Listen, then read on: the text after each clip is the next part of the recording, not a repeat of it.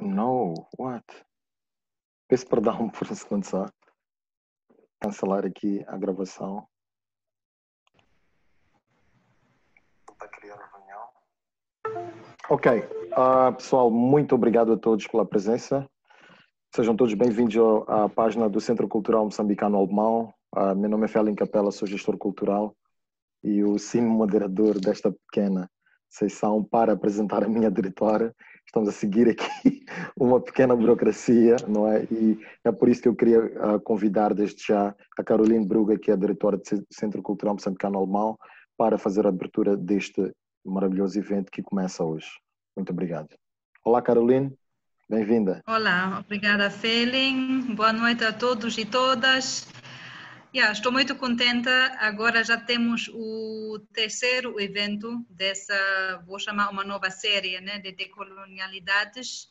Começamos alguns meses atrás e nessa altura foram a Paola e o Eduardo, que são os iniciadores né, dessa dessa ideia. Então são as primeiras pessoas que recebemos aqui na plataforma. Aliás, nessa altura ainda era um evento presencial, ainda era antes do corona. O segundo evento já fizemos aqui na plataforma virtual do CCMA e também já tínhamos um, mais duas palestrantes uh, moçambicanas, mas uma delas no Brasil, a Sônia André e a Matilde Mocha. Então, o grupo já cresceu. Esta vez já temos quatro pessoas que vão dar os seus, eh, as suas contribuições também. Um, de novo do Brasil, mas também de Cabo Verde e, claro, aqui de Moçambique uma mistura interessante também porque temos uma educadora, temos um, dois sociólogos e também temos uma psicóloga, então são realmente de várias áreas para tentarmos abranger muitas facetas diferentes do tema.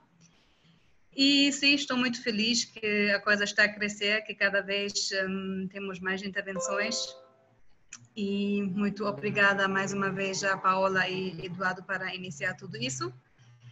E hoje estaremos uh, com uma educadora do Brasil para começar, um, eh, porque agora é assim que cada dia é uma intervenção diferente, não é? E sim, quero desejar boas-vindas a todos também. Muito obrigada mais uma vez e que tenham uma sessão interessante com a Paola, o Eduardo e a Débora Monteiro. Muito obrigada e boa noite. Muito obrigado, Caroline. Uh, Bem-vinda sempre, não é? Um, eu acho que o evento está abençoado, então vamos começar. Uh, gostava também de convidar, já de seguida, um dos coordenadores desta iniciativa, não é? Que está a trabalhar diretamente com a Paola, uh, deste movimento da Afroeducação. O Eduardo é uma pessoa que faz parte da Universidade Eduardo Mondlane, da Escola de Comunicação e Artes, e é líder também de um projeto chamado ECART. Então, bem-vindo, Eduardo. Como é que te sentes hoje?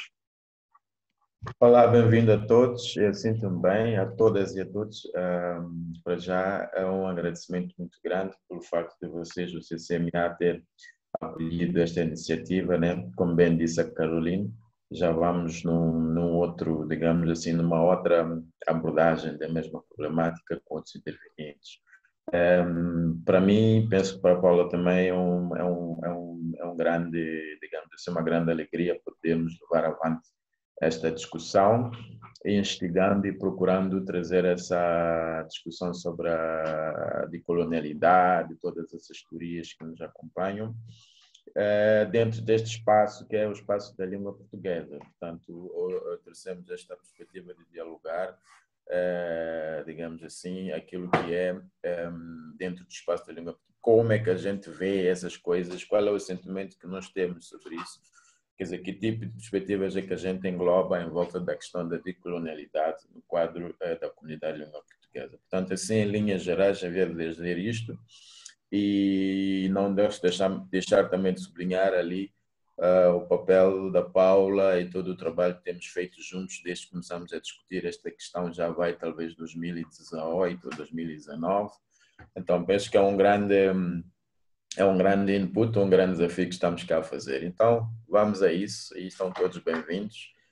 E atiro a palavra aí para a Paula. Maravilha. Olá, pessoal, tudo bem? Muito obrigada, Eduardo, obrigada.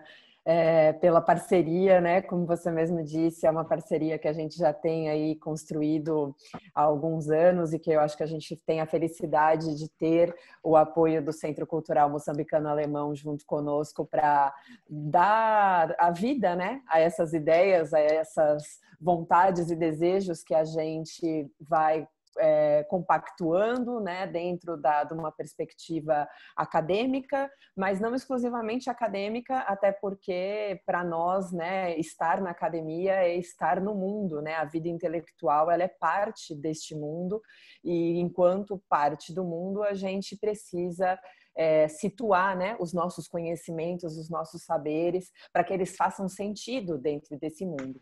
E nesse sentido, então, é, eu também agradeço né, ao Feren Capella por ter aberto as portas, assim como a Caroline, diretora do CCMA, para mais uhum. essa iniciativa que nós fazemos em parceria. Né? Como a Caroline comentou, essa já é a terceira é, rodada, né, que nós estamos uhum. fazendo aqui juntos, em formatos diferentes, né, a coisa foi sempre alterando, porque também tem isso, eu acho que uma grande é, vantagem da gente trabalhar por projetos é entender que os projetos não são escritos em pedra, né? A gente escreve, pensa o projeto, o projeto acontece, a gente avalia e aí a gente sente a vontade de alterar uma coisinha aqui, outra ali e a gente vai, né, mudando conforme também a vida da gente vai mudando, né? E eu acho que a pandemia agora é, tem nos ensinado muito, né? O quanto que a vida é, é, o presente e o quanto que essa temporalidade precisa ser levada em conta para aquilo que a gente faz, por mais difícil que seja, né? Por mais desafiador que seja, a gente viver o presente.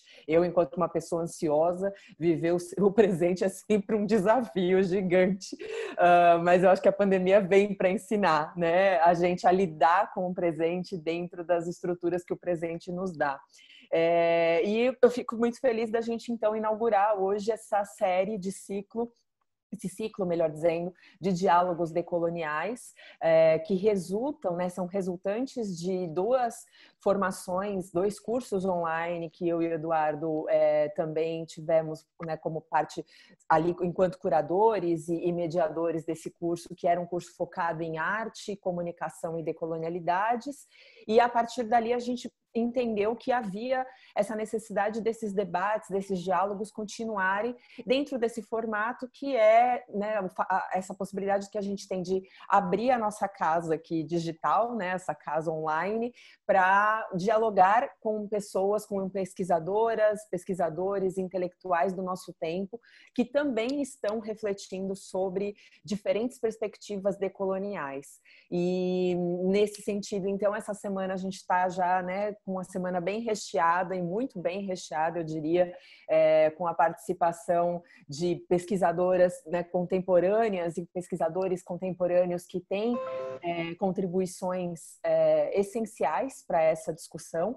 E fico feliz de que no nosso primeiro encontro eu possa estar aqui com uma conterrânea, né, brasileira como eu, a Débora Monteiro, que além de ser brasileira como eu, é também uma educadora como eu e é uma amiga é, acima de tudo, né? A gente tem essa uma amizade muito próxima e temos construído muitas coisas em parceria também pelo fato de que a Afroeducação, essa organização da qual eu sou cofundadora, é parceira do Instituto Ela Criações Educativas, hum. que é o instituto da qual a Débora é sócia fundadora, né? É, então nós já temos atuado em, em, parceria durante algum, desde na verdade da fundação do Instituto Ela, depois a Débora até pode contar um pouco mais sobre o Instituto também para a gente aqui. É, e nesse processo a gente tem, inclusive, realizado é, todas as semanas um, os diálogos para não passar em branco, que é uma parceria entre a Afroeducação e o Instituto Ela, onde a gente faz uma discussão também, né, decolonial, mas especificamente mais pautando as críticas à branquitude, né, uh, não exclusivamente só no Brasil também, já tivemos a, a participação do Eduardo conosco, né, Eduardo foi um dos convidados desse esses diálogos. E temos aqui a mediadora que divide esse espaço comigo, a Ana Helena, que está aqui conosco também. Fico feliz aí de te ver, Aninha. Muito obrigada pela presença aqui com a gente. E a gente, então, tem né, realizado essa série de discussões porque a gente entende na afroeducação que o diálogo é o caminho, né? E se o diálogo é o caminho, o diálogo ele só existe, ele só faz sentido se ele puder ser potencializador da educação. Então, por isso a gente inicia esse ciclo com esse aspecto, né? Dentro dessa perspectiva é, de um trabalho, de uma pesquisa que vem sendo realizada pela Débora dentro do campo da educação. Para quem não conhece, a Débora Monteiro, ela é mestra em educação pela Universidade de São Paulo. Uh, a sua pesquisa vai tratar da descolonização dos currículos a partir aí da valorização é, dos princípios, né, dos marcadores é, que, que a gente chama no Brasil de valores civilizatórios afro-brasileiros. Ela cursou graduação em letras na Pontifícia Universidade Católica de São Paulo é coordenadora é, pedagógica de uma escola na rede municipal de ensino, também de São Paulo, e diretora, né, como eu disse, sócia fundadora do Instituto Ela uh, Criações Educativas. E aqui, para a nossa conversa hoje, a Débora vai trazer uma contribuição bastante focada né, numa análise crítica dessa perspectiva eurocêntrica e colonial que, a, que perpassa né, a história da educação brasileira uh, e também uma defesa, né, no sentido de, da, da, da, importância desses corpos negros e desses saberes afrocentrados estarem no centro de uma possível reconstrução curricular que poderia, a partir daí, reconectar né, epistemologicamente corpo e mente estabelecendo né, cosmogonias e cosmovisões,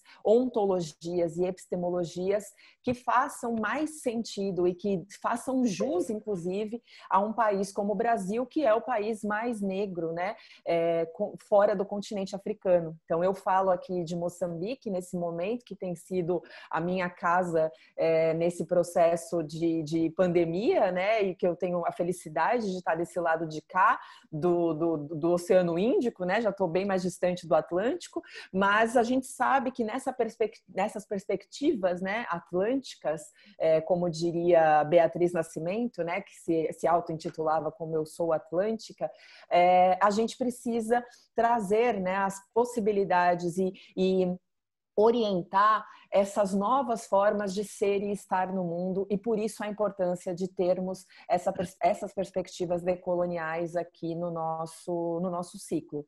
Então, agora eu tenho a honra de passar para a Débora Monteiro, que está aqui conosco. Muito obrigada por ter aceitado o nosso convite. O palco é seu. Seu microfone está fechado. Ok, Aí, muito obrigada, eu que agradeço o convite, a possibilidade de estar aqui trocando. Já estava antes da reunião conhecendo algumas pessoas, é, já fico muito feliz só com essas primeiras conexões, assim. E também muito feliz com a sua introdução, Paola. Acho que você deu uma lida, né? Na verdade, você já conhece minha pesquisa, esteve na, na minha defesa e etc. Mas você falou muito bem aí do, um bem resumido, uma, uma síntese do que eu vou trazer aqui. Obrigada. Então, vou compartilhar a tela com vocês. Acho que não preciso me apresentar muito, porque a, a Paula já o fez muito bem. E mais para frente, acho que no final da apresentação, eu falo, falo um pouco do Instituto Ela em si. Aí, vamos para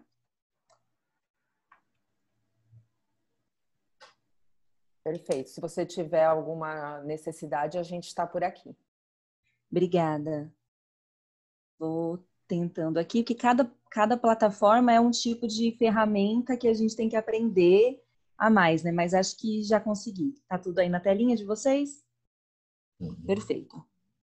Hum. Então vamos lá.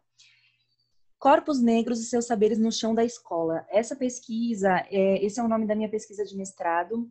Ela tem o subtítulo Escrevivências e Oralituras por uma Educação Decolonial.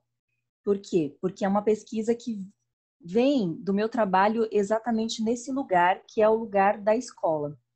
É, a educação, eu acredito que ela não se dá apenas no ambiente escolar, a educação se dá em todos os espaços, né? Quando a gente tem uma criança que vai na padaria sozinha e a sua relação com o padeiro ali faz parte da formação dela.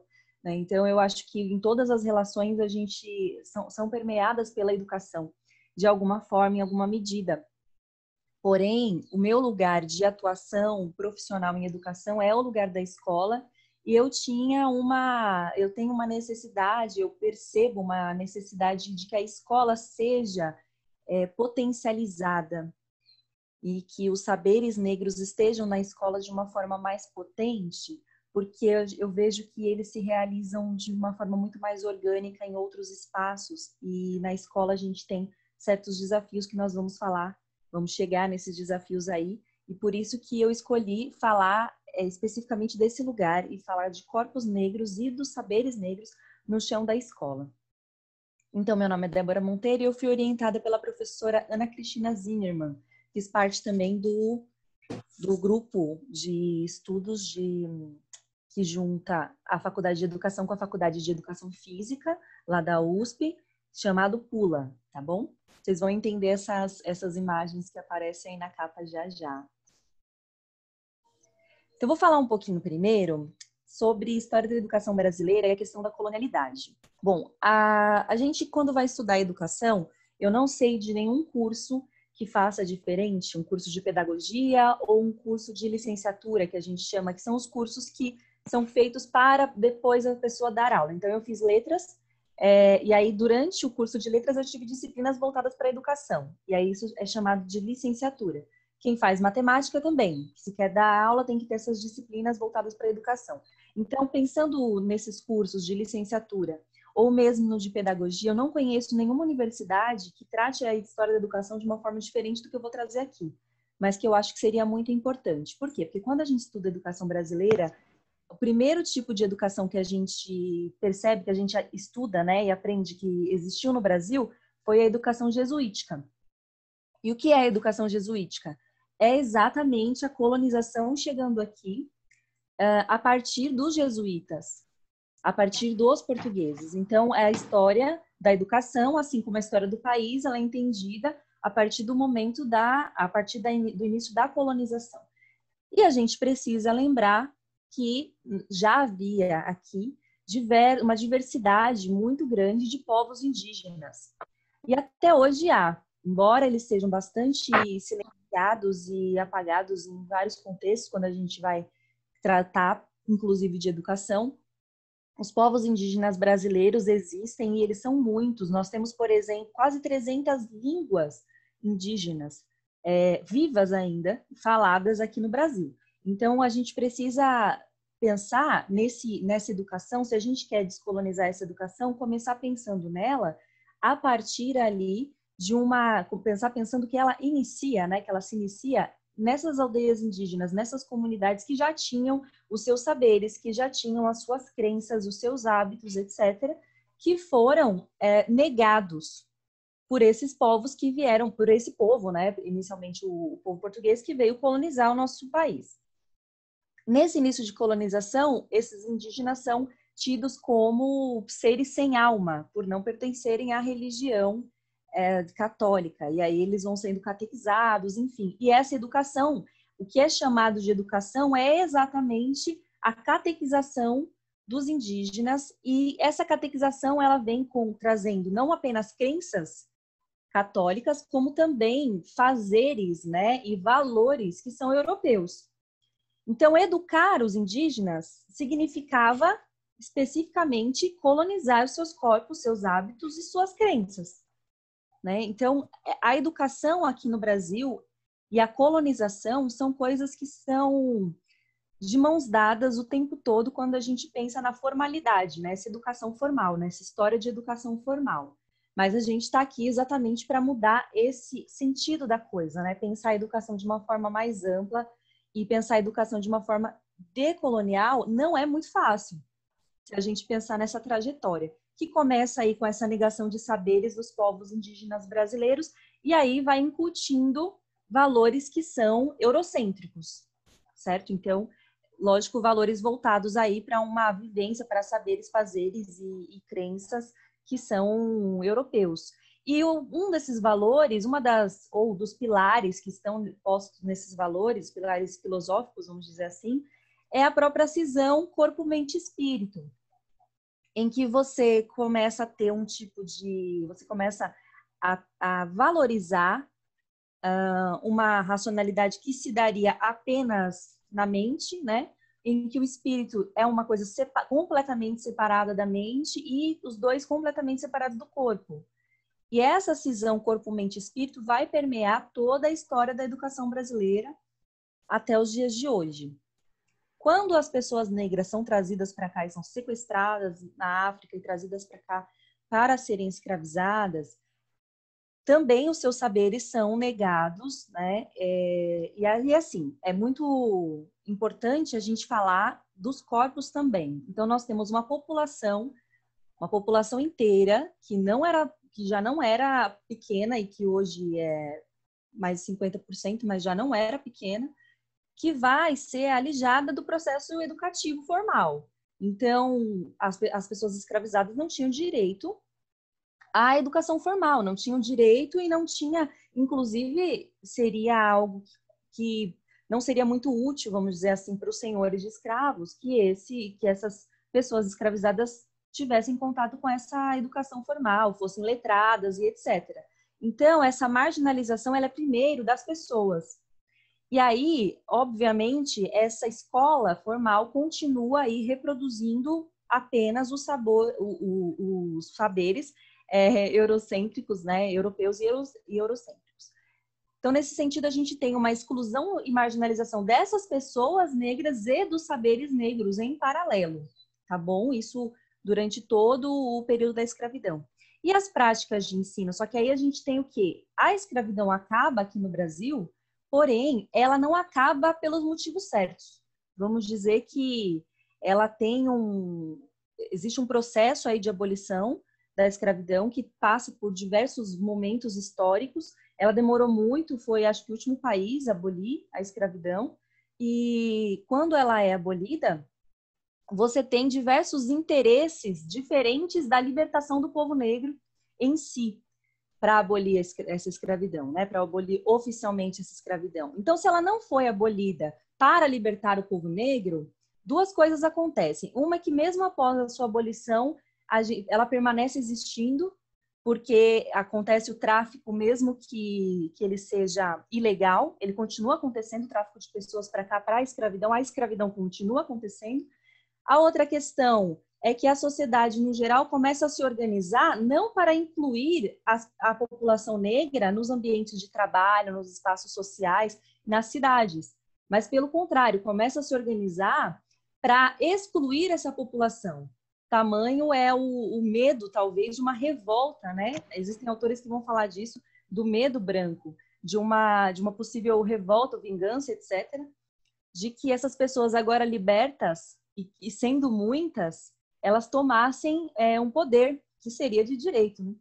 Bom, e aí, para conseguir oprimir ao máximo essa população, diversos processos políticos vão sendo feitos. Primeiro, a gente não tem um processo de inclusão também econômica, é importante dizer isso. Diferente de alguns outros países, nós nunca tivemos um processo de uh, restauração é, histórica ou até mesmo esse processo de, de indenização dos povos, né, que foram escravizados. Aqui de nenhuma forma, nem, nem por terra, nem bolsa, nem, nem valor financeiro não tivemos. E aí, por, na falta de políticas públicas de inclusão econômica, de trabalho e, e educacionais, a gente teve também leis que proibiram as culturas negras. Como assim uma lei que proíbe uma cultura negra? Não é uma lei só, são várias leis que vão proibindo aspectos culturais. Então, nós tivemos uma lei contra a capoeira, uma lei contra a religião de matriz africana, lei contra os batuques, uma lei contra a vadiagem. E o que era chamado de vadiagem era a pessoa estar andando na cidade sem que ela fosse, eh, estivesse indo ou voltando do trabalho registrado. E quem tinha acesso a esses trabalhos registrados, né? com certeza a população negra não tinha, em, sua maioria, acesso a um trabalho digno e registrado. E é importante a gente dizer, ou seja, a pessoa que estivesse andando pela cidade e que não, não estava empregada, ela poderia ser considerada um vadio e ser presa. Isso acontecia. Uh, ah, tá, tem pessoas chegando, eu tenho que admitir, né? Beleza. Pronto. Então, isso acontecia muito e essas pessoas eram presas pelo simples fato de estarem na cidade. Dessa forma, elas vão sendo marginalizadas num sentido geográfico também, no ponto de vista de que vão se criando guetos, vão se criando as favelas, vão se criando comunidades afastadas do centro, onde essas pessoas conseguem minimamente ali viver, se ajudar, né? E continuar, inclusive, mantendo as suas religiões, suas tradições, sem essa, sem essa visão da lei, sem essa punição da lei, que ela não chega tão facilmente nesses lugares. Então, essas pessoas, para viverem a sua cultura, precisam se afastar. E para viverem, na verdade, né? Porque andar na cidade seria simplesmente viver. E esse é importante dizer também que o Brasil passou por um processo de branqueamento, um processo político de uma ideologia de branqueamento, em que políticos brasileiros, uh, baseados numa falsa ciência, uma falsa ideia de ciência eugenista, vão tentar aí justificar uma falsa superioridade branca sobre a negra e criar um ideal de que o Brasil não tivesse mais pessoas negras em 100 anos. Então, eu não sei se vocês têm conhecimento disso, mas existia um plano de que em 2012 não existissem mais negros no Brasil. Então, esse plano fez parte desse plano, inclusive, ações para trazerem é, imigrantes europeus pobres para cá. E muitos imigrantes europeus pobres foram trazidos para cá em condições maravilhosas? Não, não foram em condições maravilhosas. Eles são pobres também, etc. Porém, eles vieram com um certo apoio, inclusive econômico, do governo para estarem aqui, de fato, ocuparem esses cargos é, de, de trabalho formal e, ao mesmo tempo, embranquecerem a população e o país e a cultura.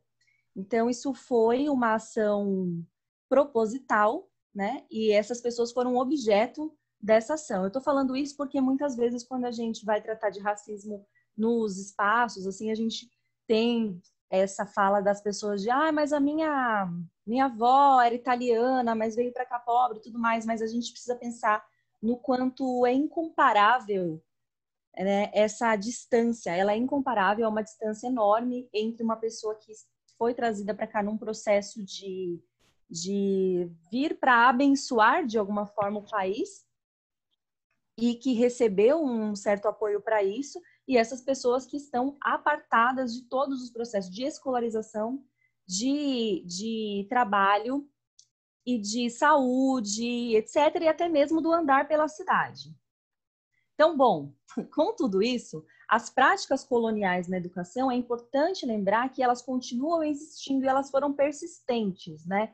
Pós-escravidão, pós-colonização. Então, a gente não, a gente deixa de, de viver a, o que é, que é chamado de colonização antes do século passado, né, no século retrasado, porém esses valores continuam os mesmos, no sentido de que o currículo que existe na escola continua sendo um currículo eurocêntrico. E as pessoas negras ainda estão afastadas da escola. Vamos dar um dado aqui, é que faz apenas 30 ou 40 anos, 40 anos, que a escola realmente, a escola no Brasil, a escola pública, começa a ser ampla o suficiente para ser ocupada por uma maioria de pessoas negras. Ainda que nós sejamos 50%, mais de 50% da população.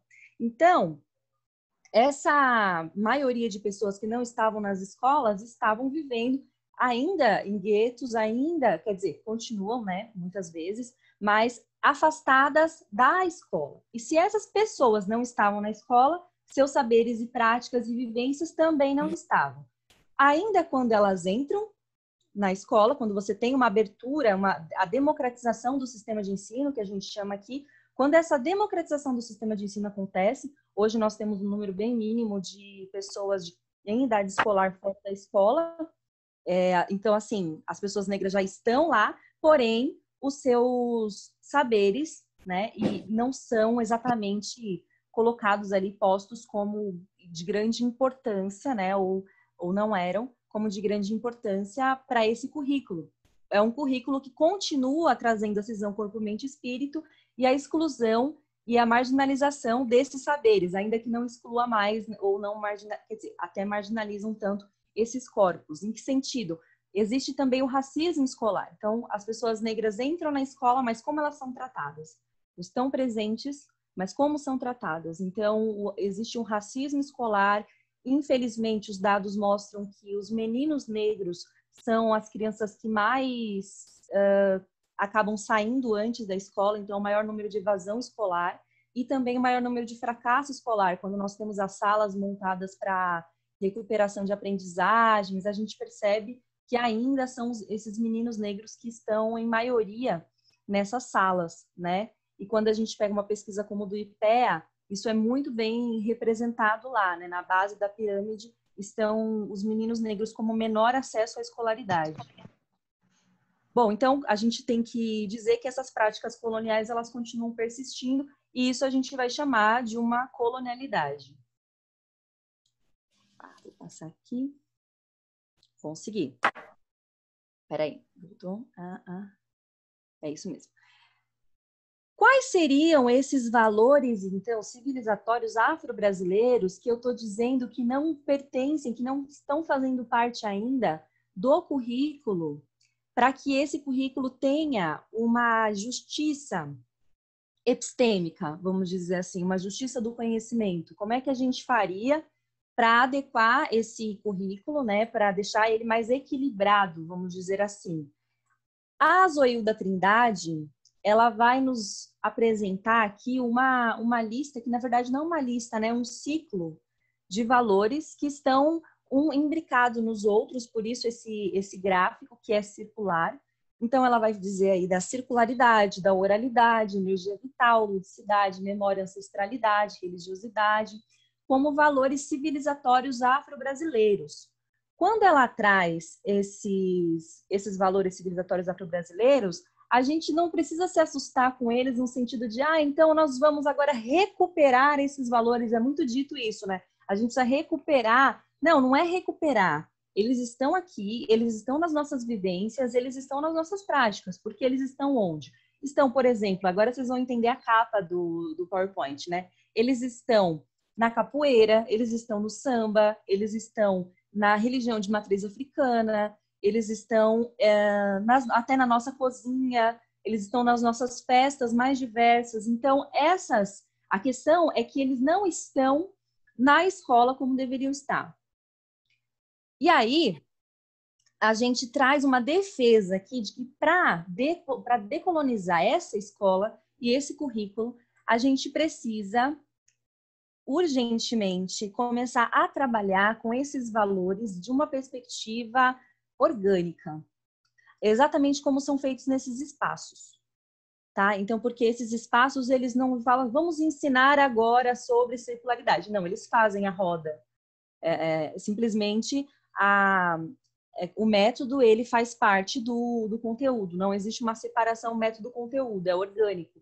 Então, se você vai numa roda de jongo, é uma roda de jongo. Não necessariamente alguém vai colocar numa lousa lá, circularidade representa isso e aquilo. Você vai estar no círculo e sentir o círculo e participar dele. Então, a decolonialidade que a gente defende para a educação, ela precisaria, né, aí pensando no que a Catherine Walsh traz, as várias, os vários tipos de, de colonialidade que a gente vai contrapor, e um deles é a colonialidade do saber. A gente precisa trabalhar bastante na perspectiva do comunitarismo, que é um dos valores que estava lá no, no Círculo da Zoio da Trindade, né, da ancestralidade também, então de reconhecer os valores, os saberes da nossa, das nossas, da nossa ancestralidade e trazer isso para um comunitarismo, uma perspectiva coletiva. Isso, por si só, já pode, por exemplo, desmontar a própria ideia de meritocracia. E a gente trabalha muito, por incrível que pareça, a gente trabalha muito com a meritocracia ainda dentro da educação. Quando a gente pensa aí como é que são feitos no final, no fringir dos ovos, por mais que a gente fale de cooperatividade, nananã, como é que as pessoas são avaliadas e como é que as crianças é, passam de ano ou não passam de ano. Então, é, são princípios que estão muito ligados à questão da meritocracia, mas essa ideia de comunitarismo, ela pode ajudar a vencer essa, a superar esse problema. Trabalhar também a partir da indissociabilidade de corpo, mente e espírito. Ora, não é a única corrente que está falando disso. A gente pode pegar hoje em dia tem uh, a fenomenologia francesa, Merleau-Ponty, etc., estão falando sobre a necessidade de uma educação integral, uma educação que reconecte corpo, mente e espírito.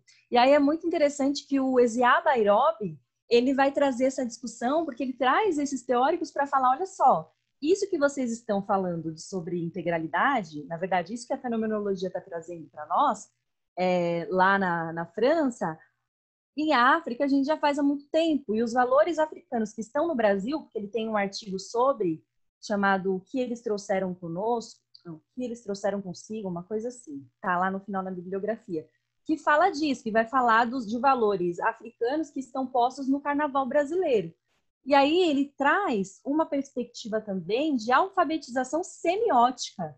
Então, do quanto seria importante para essa educação integral, e aí a gente vai pensar na educação integral a partir desses saberes africanos e não necessariamente da, da escola francesa sobre a integralidade, mas como que a gente pode é, começar de pequeno a trazer uma alfabetização que é semiótica, é muito além do ler e escrever. O ler e escrever está contido nisso e ele é extremamente importante, principalmente para a gente ter uma garantia de direitos e espaços, né? As pessoas, as crianças, principalmente na escola pública, precisam ter garantidos as possibilidades e as ferramentas de ocupar diversos espaços de poder. Então, a gente está trabalhando com a necessidade de se alfabetizar muito bem, de letrar muito bem esses educandos, mas que a gente também precisa trabalhar os outros sentidos. Que a gente precisa, inclusive, trabalhar um junto com o outro, né? tanto a escrita junto com a dança, enfim, tudo isso em, em conexão e é possível. Né? Então, como os movimentos negros trabalharam pela decolonialidade do saber? Bom, eles vêm lutando há muitos anos, como eu vinha dizendo, as pessoas negras estavam apartadas da escola, mas os movimentos negros, e aí desde os quilombos, que já tinham uma educação própria, é, as próprias, a educação assim, familiar, vamos dizer, uma das próprias relações na senzala, isso só para dizer que, é, que as pessoas negras não começaram a se educar a partir do momento que elas entraram na escola. Né? A Frente Negra Brasileira também no século passado, vem trazer uma outra perspectiva de educação e também já defendendo os saberes negros na educação, a entrada dos saberes negros na educação. E o quilombismo do Abdias do Nascimento com força, também trazendo as histórias, as narrativas negras, e por aí a gente vai tendo educações que são fora da educação escolar, mas que vão que vão conseguir disseminar esses valores afro-brasileiros e trazer essas reflexões, inclusive, sobre os saberes e as práticas afro-brasileiras, né? Isso fora da perspectiva escolar. E isso chega na escola. E chega na escola com muita força a partir da Lei 10.639 de 2003, que é quando a, se, começa a ser obrigatório o ensino de história e cultura africana e afro-brasileira nas escolas. A partir de 2003, com essa lei, começa realmente um processo de entrada dos conhecimentos uh, e de autores e autoras negros e negras na, no currículo escolar. E quando a gente vai fazer isso, é tão difícil que a gente até hoje, né, até a Afroeducação tem uma campanha muito bonita chamada Tirar a Lei do Papel, porque a gente ainda precisa de campanhas, ações e de muita coisa para de fato tirar essa lei do papel. Uma questão que eu acredito que é muito séria nesse sentido do tirar essa lei do papel são os livros didáticos, e isso tem sido trabalhado há anos desde, desde a lei, mas ainda não é resolvido. A quantidade, né, quando você vê a quantidade de autores, pensadores, cientistas, é, escritoras, negros e negras no, nos livros didáticos era quase nula e hoje ainda é baixa.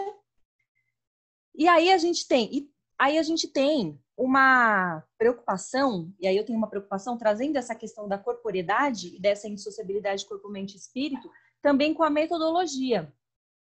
Então eu coloquei aqui entre saberes e fazeres, porque uma coisa é você trazer para a escola, colocar num livro didático e você ter lá na lista de conteúdo a capoeira, é importante. Sim. Né? Mas de que forma vai ser trabalhada a capoeira? Porque a gente ainda vai pegar o livro didático, ler o texto, legal, sistematizar, escrever na lousa. Capoeira é, os principais instrumentos são, nananã, que eu acredito que é tudo bem fazer isso, mas por que não a roda de capoeira na, na escola? Né? Acho que essa é, para mim, esse é o ponto-chave da coisa, porque é quando a gente realmente traz esse fazer afro-brasileiro para a escola. Além do saber, você traz esse fazer, e esses fazeres que realmente estão conectados, né? eles, eles sim conectam corpo, mente e espírito, porque eles trazem o saber, porque aprendendo ali o jogo da capoeira, a criança vai conseguir compreender, até sentir é, coisas que depois ela pode conversar a respeito, sistematizar, sim, por que não, escrever a respeito, tudo bem, mas que ela vai conseguir ter essa vivência ali dentro. E essas vivências são extremamente importantes no que diz respeito aos fazeres afro-brasileiros e aos valores, porque você não passa o valor ensinando, o valor é, você passa o valor transmitindo o valor a partir de uma prática, a partir de uma vivência, né?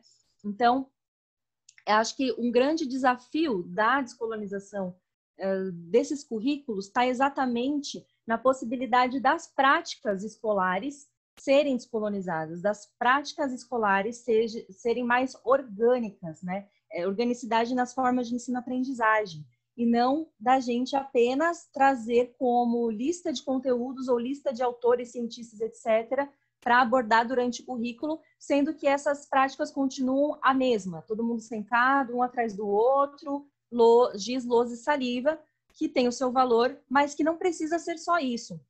E aí, o grande desafio que eu vejo nesse sentido, e aí falando com uma pessoa que está de fato no chão da escola, são as grades escolares. O que, que eu estou chamando de grades escolares? A grade horária, a grade curricular, a própria grade da escola, né? E as grades que se impõem na sala, entre a sala de aula e os outros espaços da escola. Então a gente tem muita dificuldade de fazer qualquer coisa na escola que saia desse contexto, sala de aula um atrás do outro, lousa e saliva. Por quê? Porque o, o sistema escolar como um todo ele está organizado para a gente ficar ali dentro. Ele está organizado, os tempos são organizados dessa forma. O ensino fundamental 2, por exemplo, é assim: 45 minutos uma aula, 45 minutos outra aula. Então você tem aqui geografia em 45 minutos, história em 45 minutos. Em 45 minutos você não faz uma roda de capoeira, por exemplo. Não faz. Você não faz um sarau. Né? Então, a necessidade, existe a necessidade extrema da gente romper com essas grades escolares no sistema escolar no sistema educacional. E não, não significa, não é apenas na mente dos professores. Nós temos muito, muitos professores já pensando uma descolonização do conhecimento, pesquisando e, e tentando fazer, buscando formas, e ali se aventurando e tendo que programar ao máximo, dar um jeito na escola de achar um espaço, de achar um tempo. Aí vai um professor, pede aula para o outro, aí o outro tinha que dar aula para outra turma, e tudo isso fica muito complicado e complexo, porque os tempos e os espaços da escola não estão organizados para que realmente a gente consiga trabalhar com essa organicidade nas formas de ensino-aprendizagem. Infelizmente, eles estão organizados para outro tipo de fazer, para um fazer ainda bastante é, fechado, numa perspectiva até colonial. Tá? Então, eu penso que romper essas grades é o grande desafio da gente realmente conseguir decolonizar a escola. Ah, eu só te interrompendo um minutinho, Deb. É, eu não sei se aqui em Moçambique, aí é uma dúvida, Eduardo, Felin podem nos ajudar. Se aqui em Moçambique utiliza-se o termo grade curricular. Eu acredito que não. É um termo que vocês utilizam para essa organização do currículo? Não é comum. Não, né? Mas deu para compreender o que, que nós estamos chamando de grade? Grade, exatamente. Yeah, fazemos essa transposição para o conceito, por exemplo, grelha curricular, por exemplo. Grelha. Né? Uhum. Exato, usamos a grelha Perfeito. curricular, plano curricular, Perfeito. enfim. Yeah, plano, plano de estudo, né?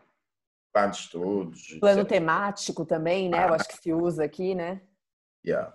Yeah. Uhum. Desculpa, Débora, é só para a gente fazer não, essa associação, porque às vezes o nosso português ele é um português brasileiro, né? Ele não é o, a língua portuguesa de todas as comunidades, de toda a comunidade de línguas portuguesas.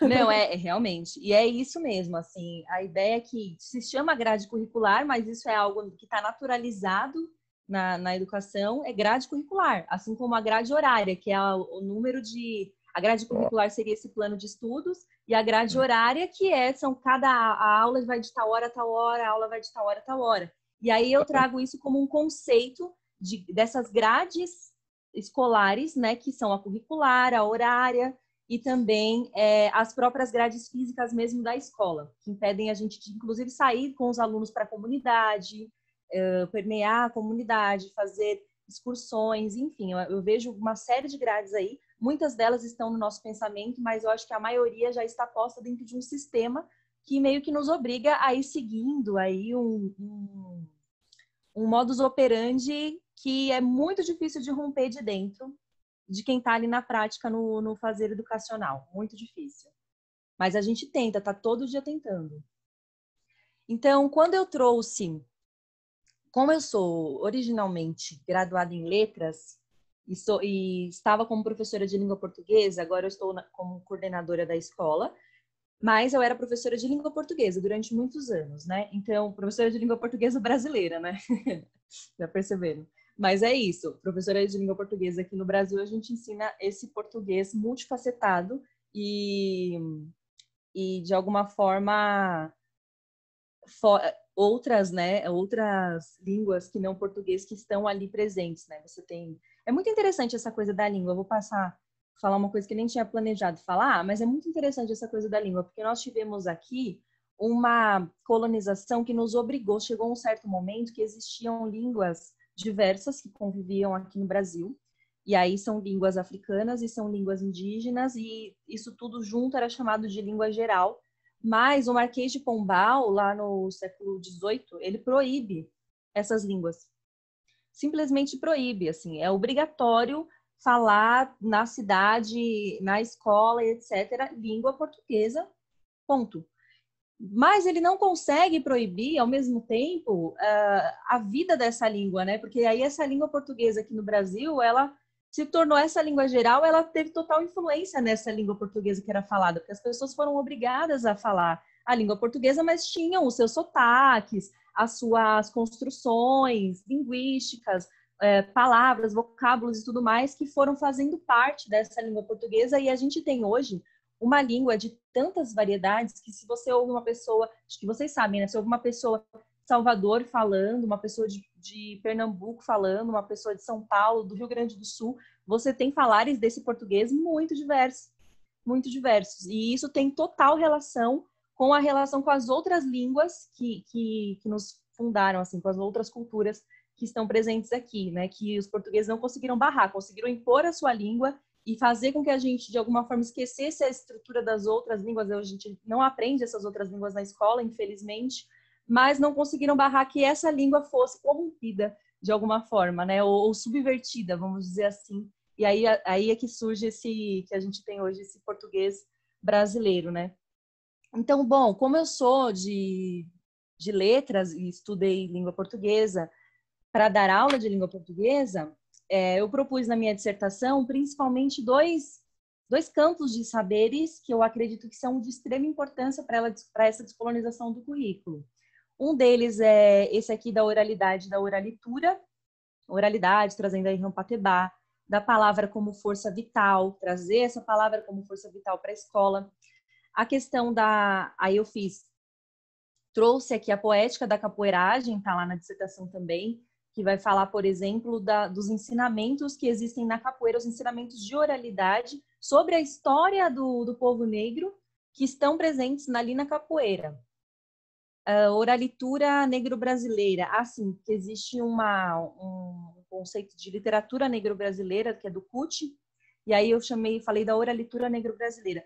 Seria oralitura? Leda Martins vai dizer, vai tratar da corporeidade negra que produz performances, né? E ela vai chamar esse conjunto das performances uh, afro-brasileiras de oralitura. Então, essa oralitura, para mim, ela precisa estar presente na escola, as performances, a corporeidade, para garantir essa organicidade que eu falei. E uma outra fonte de aprendizado desses valores é a, são as religiões de matriz africana. Por isso tem esse item na, na dissertação que se chama a fé que ensina com os pés no chão. porque eu percebo que a forma de ensino-aprendizagem dentro dos terreiros, que, que são das religiões de matriz africana, ela é bastante orgânica e dizem respeito e trazem a oralidade em si e tem a prática também concreta uh, mais focada do que a sistematização. Eu acho isso muito interessante, não do ponto de vista de a gente trazer a religião para ser ensinado como catequese na escola, obviamente, né? A escola é laica e tal, mas que a gente aprenda, nós educadores aprendamos o fazer desse ensino mais orgânico, inclusive com essas religiões, com essas práticas religiosas. E o outro campo de saber que eu também defendi como muito importante para essa descolonização do currículo, principalmente de língua portuguesa, é a literatura negra e o conceito de escrevivência.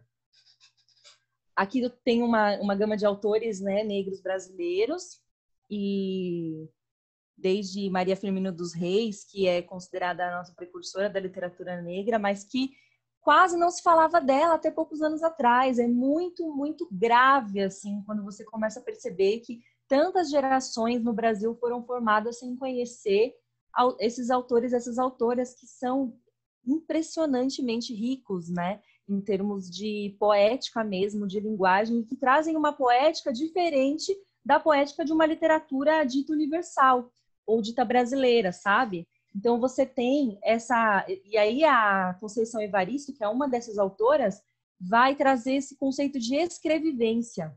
E aí ela decifra por que, que essa poética é tão diferente. Essa poética ela é diferenciada das outras porque ela vem a partir principalmente de uma vivência.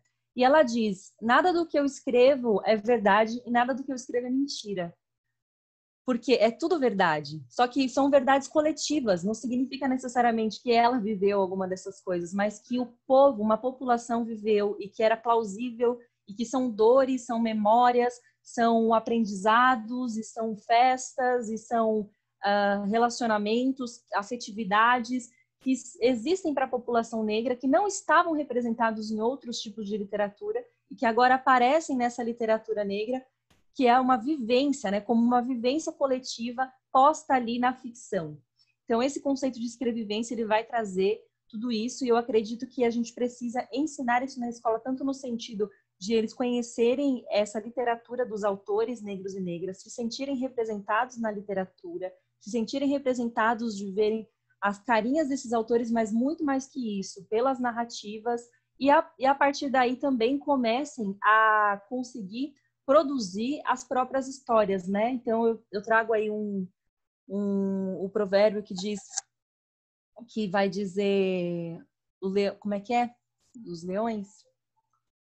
Ah, tá. As, os caçadores serão sempre os heróis das histórias de caça, até que os leões comecem a contar as próprias histórias, né? Então faço esse, essa brincadeira com isso para que essas crianças também se tornem autores das suas próprias histórias a partir do aprendizado da escrevivência. Então, acho que é muito importante, né?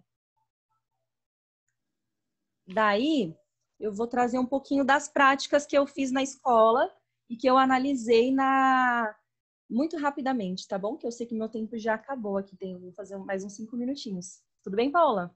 Sem problemas, fica tranquila. A gente ainda tem, tem tempo, assim. Pode, pode tá continuar, tá, tá ótimo. Então, só trazendo um pouco das práticas que eu fiz lá na escola para que eu, e que eu analisei nessa, nesse meu mestrado. Existe uma autora muito interessante aqui do Brasil e ela realmente é multi, uma pessoa muito multi, né? Que é a Kil Sandy Oliveira. Kil Sandy Oliveira, ela é autora de livros infantis, educadora, professora da Federal do Espírito Santo, dançarina, contadora de história, ela é tudo. Ela é tudo, atriz, enfim. E a Kyo-san tem esse livro chamado Omo-Oba, Histórias de Princesas. Esse livro, ele traz a história de Yansan, Oiá, é, Yansan é Oiá, é, Oiá, Iemanjá, um, com, Oxum. Tem, tem Oxum, exatamente. Então, ele vai trazendo as histórias dessas orixás, né, da, da cultura iorubá, né, da, que são da, próprias aqui, que tem muita influência aqui, porque as religiões de matriz africana são, é, muitas delas são pautadas nos orixás, então você tem os orixás lá, Porém, ela faz uma brincadeira que dá muito certo, porque ela coloca essas orixás como sendo as princesas. Então, você tem o Mobá, história de princesa. Quando você vai ver a princesa, é a princesa Oxum, é a princesa Iemanjá. E aí, você tira um pouco o véu do preconceito, porque na escola pública a gente tem percebido um crescimento, a partir do crescimento muito forte aqui no Brasil das religiões neopentecostais, principalmente, você tem um, uma intolerância religiosa muito grande. E aí, ao ponto de a gente conseguir, a gente ter dificuldade de trazer esses, essas histórias como mitologia, porque ninguém quer catequizar na escola, como eu estava dizendo, mas trazer com conhecimento mitológico.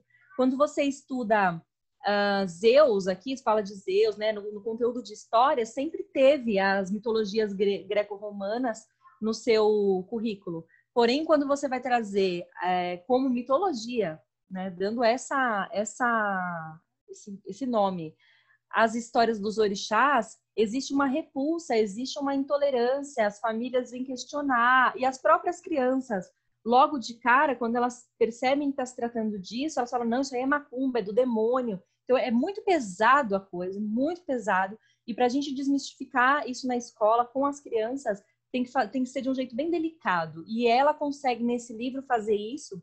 E trabalhando esse livro, foi possível trazer toda essa discussão para crianças do sexto ano, que tem aí 11, 12 anos. Então, como que foi essa atividade? Se chamou Na Minha História, Princesas Outras para os Sextos Anos. Uh, todas as crianças, a gente leu junto as histórias das princesas, né? Não, na verdade, primeiro eu pedi que eles desenhassem princesas que fossem as favoritas deles. E aí foi um show de Frozen e qualquer outra. A, a Rapunzel do Enrolados. Enfim, princesas brancas que a Disney. A Disney também tem princesas negras, mas as princesas que apareceram, na grande maioria, foram as princesas brancas, de cabelo comprido, de cabelo liso, completamente diferente dessas crianças, inclusive do sexto ano, né? Aqui quem tá é a Pamela, mas se vocês verem todas as outras crianças, elas não têm esse, esse fenótipo, esse tipo físico, mas tentam alcançar a partir desse ideal do se tornar a princesa. Então, primeiro eu pedi que elas desenhassem. E quando eles desenharam esses personagens, princesas e príncipes, é, saíram esses primeiro esses muitos muitos personagens brancos. Aí depois eu trouxe o livro e nós fomos lendo história por história, pedindo para que eles e elas desenhassem essa, esses personagens do livro, mas na sua versão. Foi muito legal. Não sei se vocês conhecem um jogo chamado Minecraft, mas ele faz muito sucesso aqui no Brasil, Minecraft. E ele tem uns personagens que são todos quadradinhos, assim, tem um estilo de desenho, um traço que é todo quadradinho, né? O corpinho dos personagens são quadrados e tal, meio que parece que ele é montado por Lego, uma coisa assim. E aí teve criança que até desenhou os orixás em Minecraft. Ah, professora, posso fazer em Minecraft? Você tem lá Oxum em Minecraft, enfim foram fazendo as suas releituras ali. É, não, demais, adoro as crianças, né? Foram fazendo as suas releituras dessas personagens, mas todas garantindo ali a, a cor da pele, os traços, porque são enfatizados na história, né? E aí é enfatizada a beleza da Oxum e a beleza da Oxum com os cabelos crespos, a pele negra, então é muito legal. E a gente foi trabalhando isso nas, nas, nas histórias e discutindo tudo isso.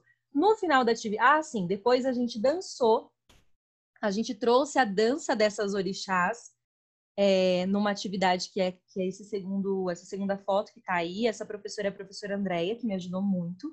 E a professora Andréia é muito boa dançarina, diferente de mim. Não sei se dá para ver, mas eu estou errando tudo ali. E a gente trouxe, colocou as músicas, né, os toques, na verdade. A gente colocou os toques das, das orixás, das, das três, da Oiá, Oxum e Iemanjá, que foram as, as histórias que nós trabalhamos e dançamos as danças dessas orixás. Foi muito interessante. Por mais que tenha tido ali uma ou outra criança que veio perguntar se era macumba, se era do demônio, falar, eu não sei se eu posso fazer isso, mas a gente conseguiu ali trazê-las para compreender que aquilo era é uma música, manifestação cultural e etc. Depois eu trouxe também outra essas animações dos orixás que está, estão no YouTube. E aí, por último, eu pedi ah, trouxe ainda uma música da MC Sofia, que é uma rapper é, adolescente aqui, uma menina negra, que canta uma música dizendo assim: Minha Rapunzel tem dreads. E aí ela vai falando de uma princesa que é uma princesa negra e tal. De, e aí ela dá um desafio nessa música, que é assim: cria uma princesa que pareça com você. Então eu dei esse desafio para eles e falei: vocês agora vão desenhar e criar histórias de príncipes e princesas, mas tem que se parecer com você. Então, se você é branca, a princesa pode ser branca, se você é negra, a princesa vai ser negra, enfim. E aí, muito diferente das histórias chapadas lá, da, da primeira atividade de desenho, quando eles desenharam, assim, teve 25, numa turma teve 25 é, Rapunzel, né? Dessa vez você teve uma diversidade, e essa diversidade foi mágica, porque essas histórias eram fantásticas. Você teve ali uma princesa unicórnio, sabe?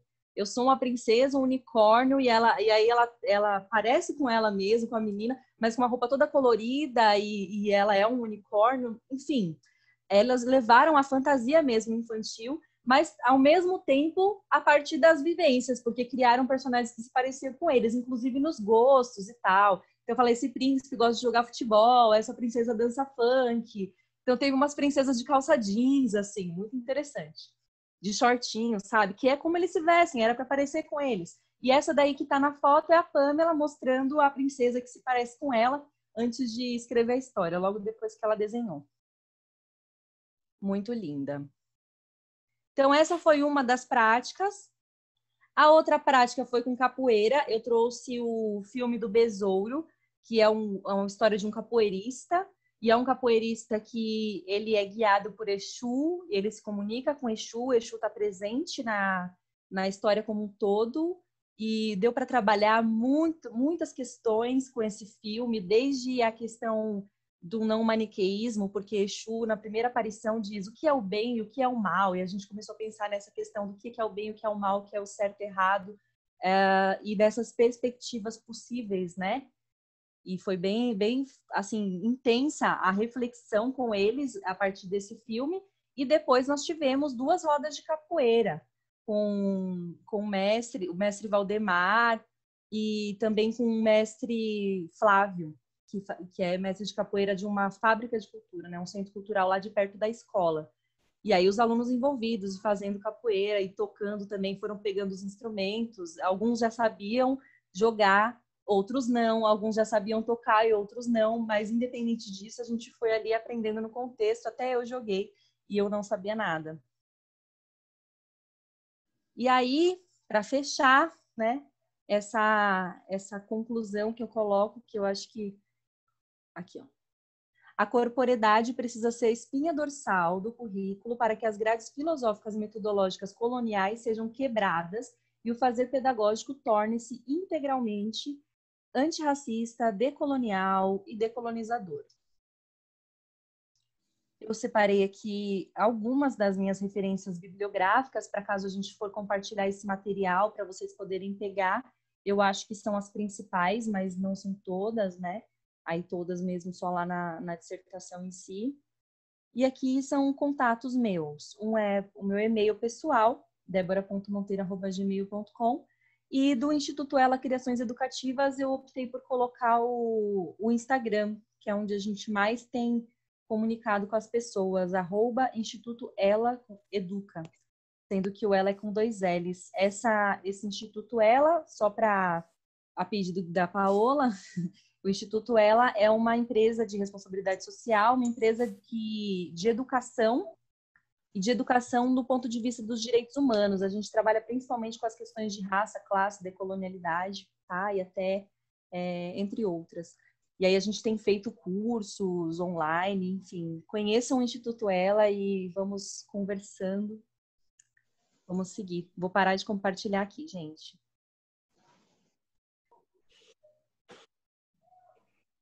Maravilha, Débora, muito, muito obrigada. É, acho que foi uma excelente apresentação quando eu, eu, eu imaginei né, o seu nome para estar conosco aqui no ciclo. Eu sabia que não me arrependeria e não me arrependo de maneira alguma.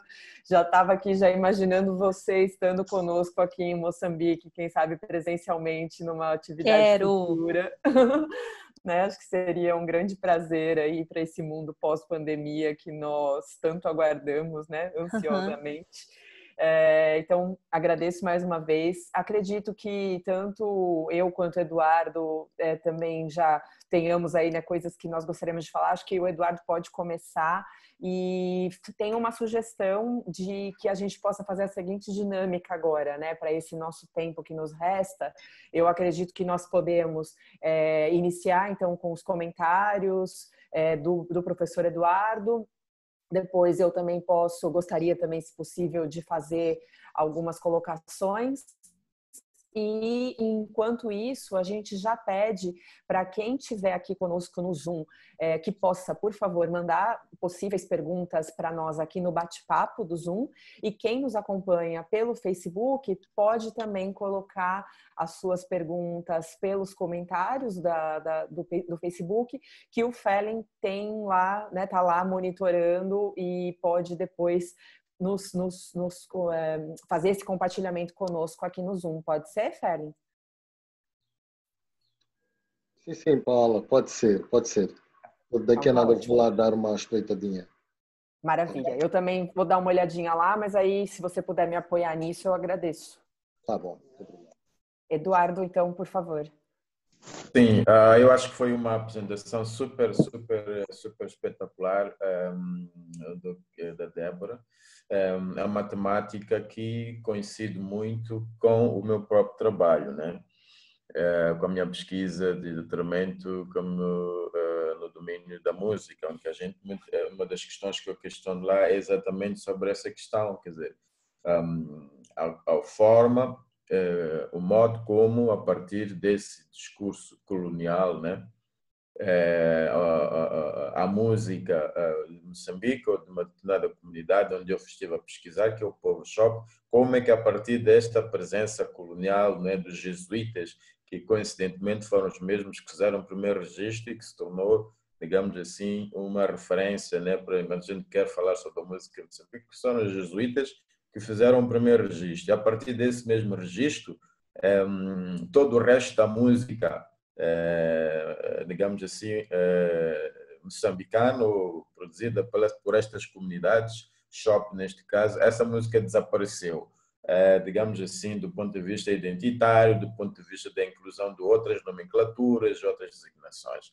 Portanto, penso que é uma questão é, que a Débora apresentou, que eu coincido muito bem comigo, uma boa parte da minha parte, da parte introdutória da minha tese de doutoramento, é, identifiquei muito com, com esta abordagem.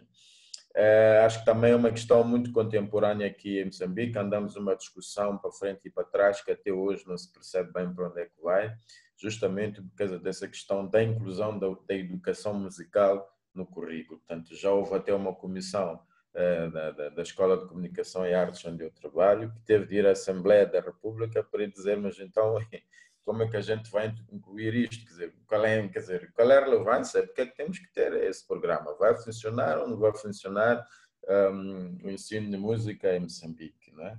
No, no, formato em que está a acontecer. Então, acho que é uma questão muito importante, porque o nosso ensino aqui também está muito ocidentalizado, estamos nesse dilema de tentar ver até que ponto é que a gente pode trazer esta contribuição, uh, digamos assim, uh, de colonial, outras perspectivas, onde de facto os espaços, onde a música tradicional ou a música moçambicana tradicional tenha os seus espaços de performance, seja ela própria, mas também os próprios mestres, né? porque aqui a Débora falou dessa possibilidade de como educadores trazer, mas também essa questão que eu acho que é até muito mais, muito mais acima, que é onde é que está o lugar do mestre, não é?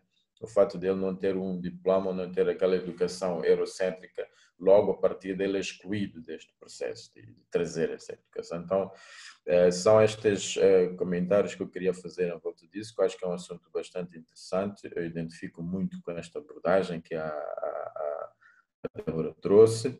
É, como bem disse a Paula, vamos lá ver o que é que a gente consegue fazer para termos essas partilhas, né, esses intercâmbios de experiências sobre como tratar, é, digamos assim, aquilo que são os conteúdos, as práticas é, tradicionais aqui em Moçambique, por exemplo, dentro daquilo que é a grelha curricular, os planos analíticos, como é que são tratados os tempos, os espaços, enfim.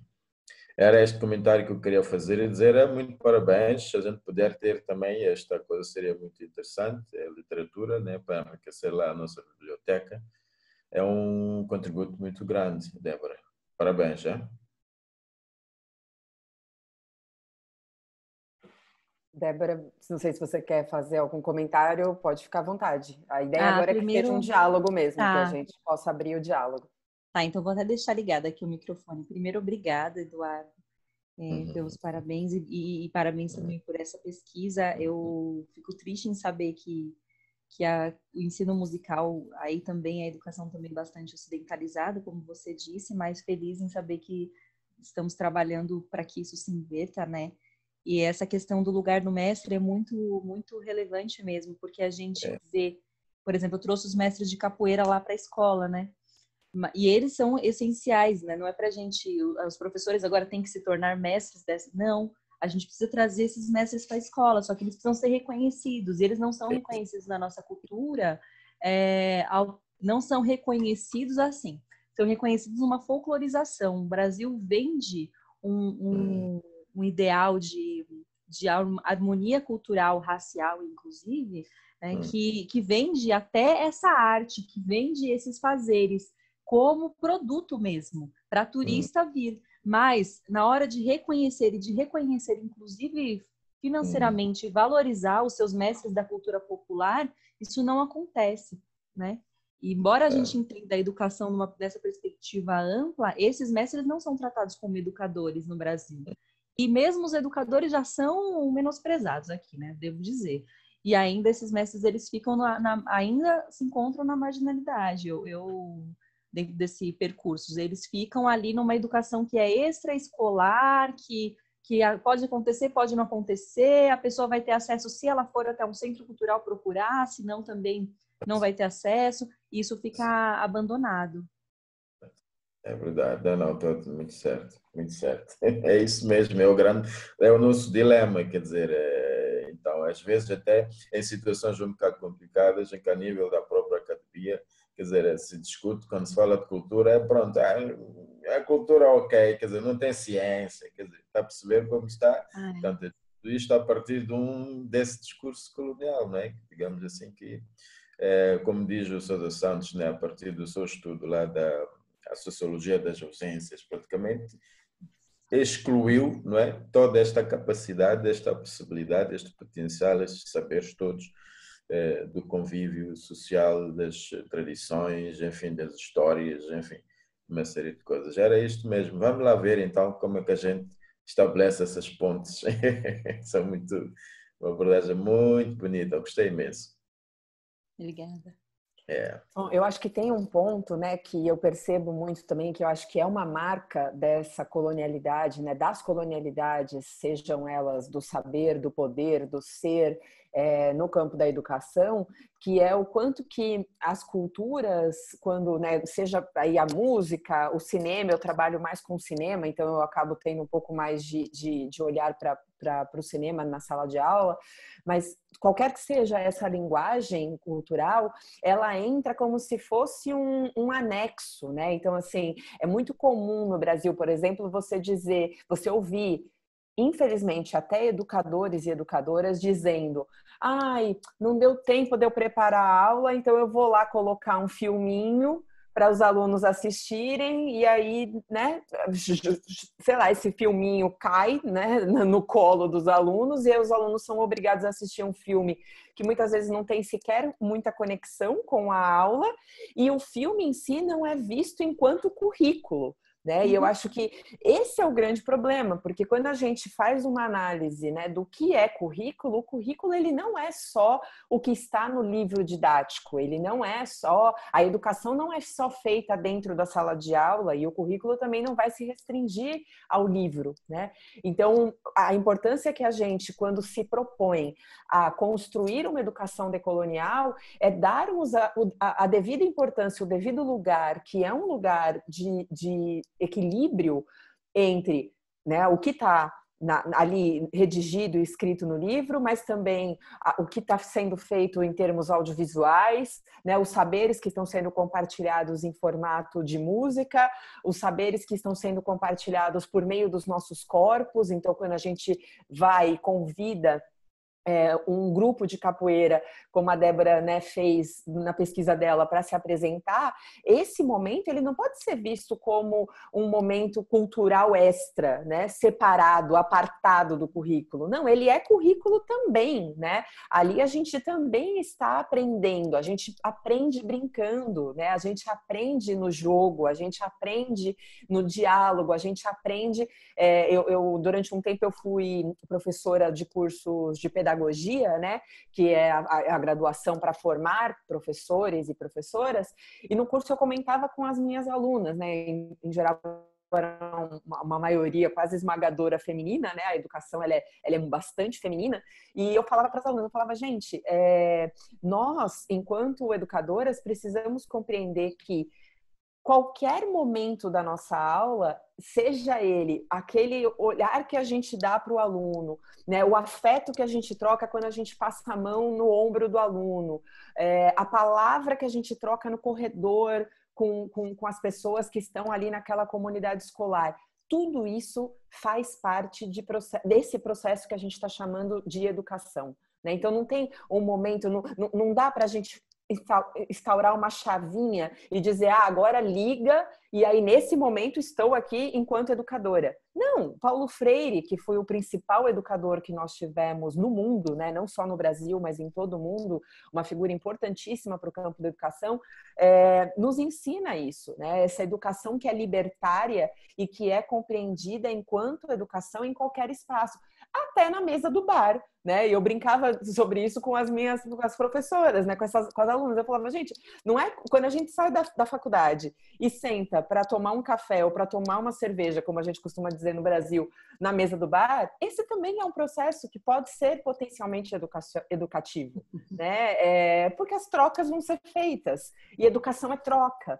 E dentro de uma perspectiva de educação colonial, o que acaba acontecendo é que a gente é, supervaloriza esses uh, aspectos iluministas da educação, né? A gente supervaloriza essa educação que foi pensada nos moldes, nos moldes positivistas, em que a razão é compreendida enquanto motor da construção de conhecimentos. E como se a razão ela só pudesse existir dentro de uma lógica de uma educação tradicional formal, em que eu, professora, falo, né, como a Débora muito bem colocou a, a tríade né, do giz, lousa e saliva, e cabe ao meu educando, educanda, apenas me ouvir e anotar aquilo que eu falo. E nada mais do que acontece né, dentro do chão da escola é olhado enquanto educativo.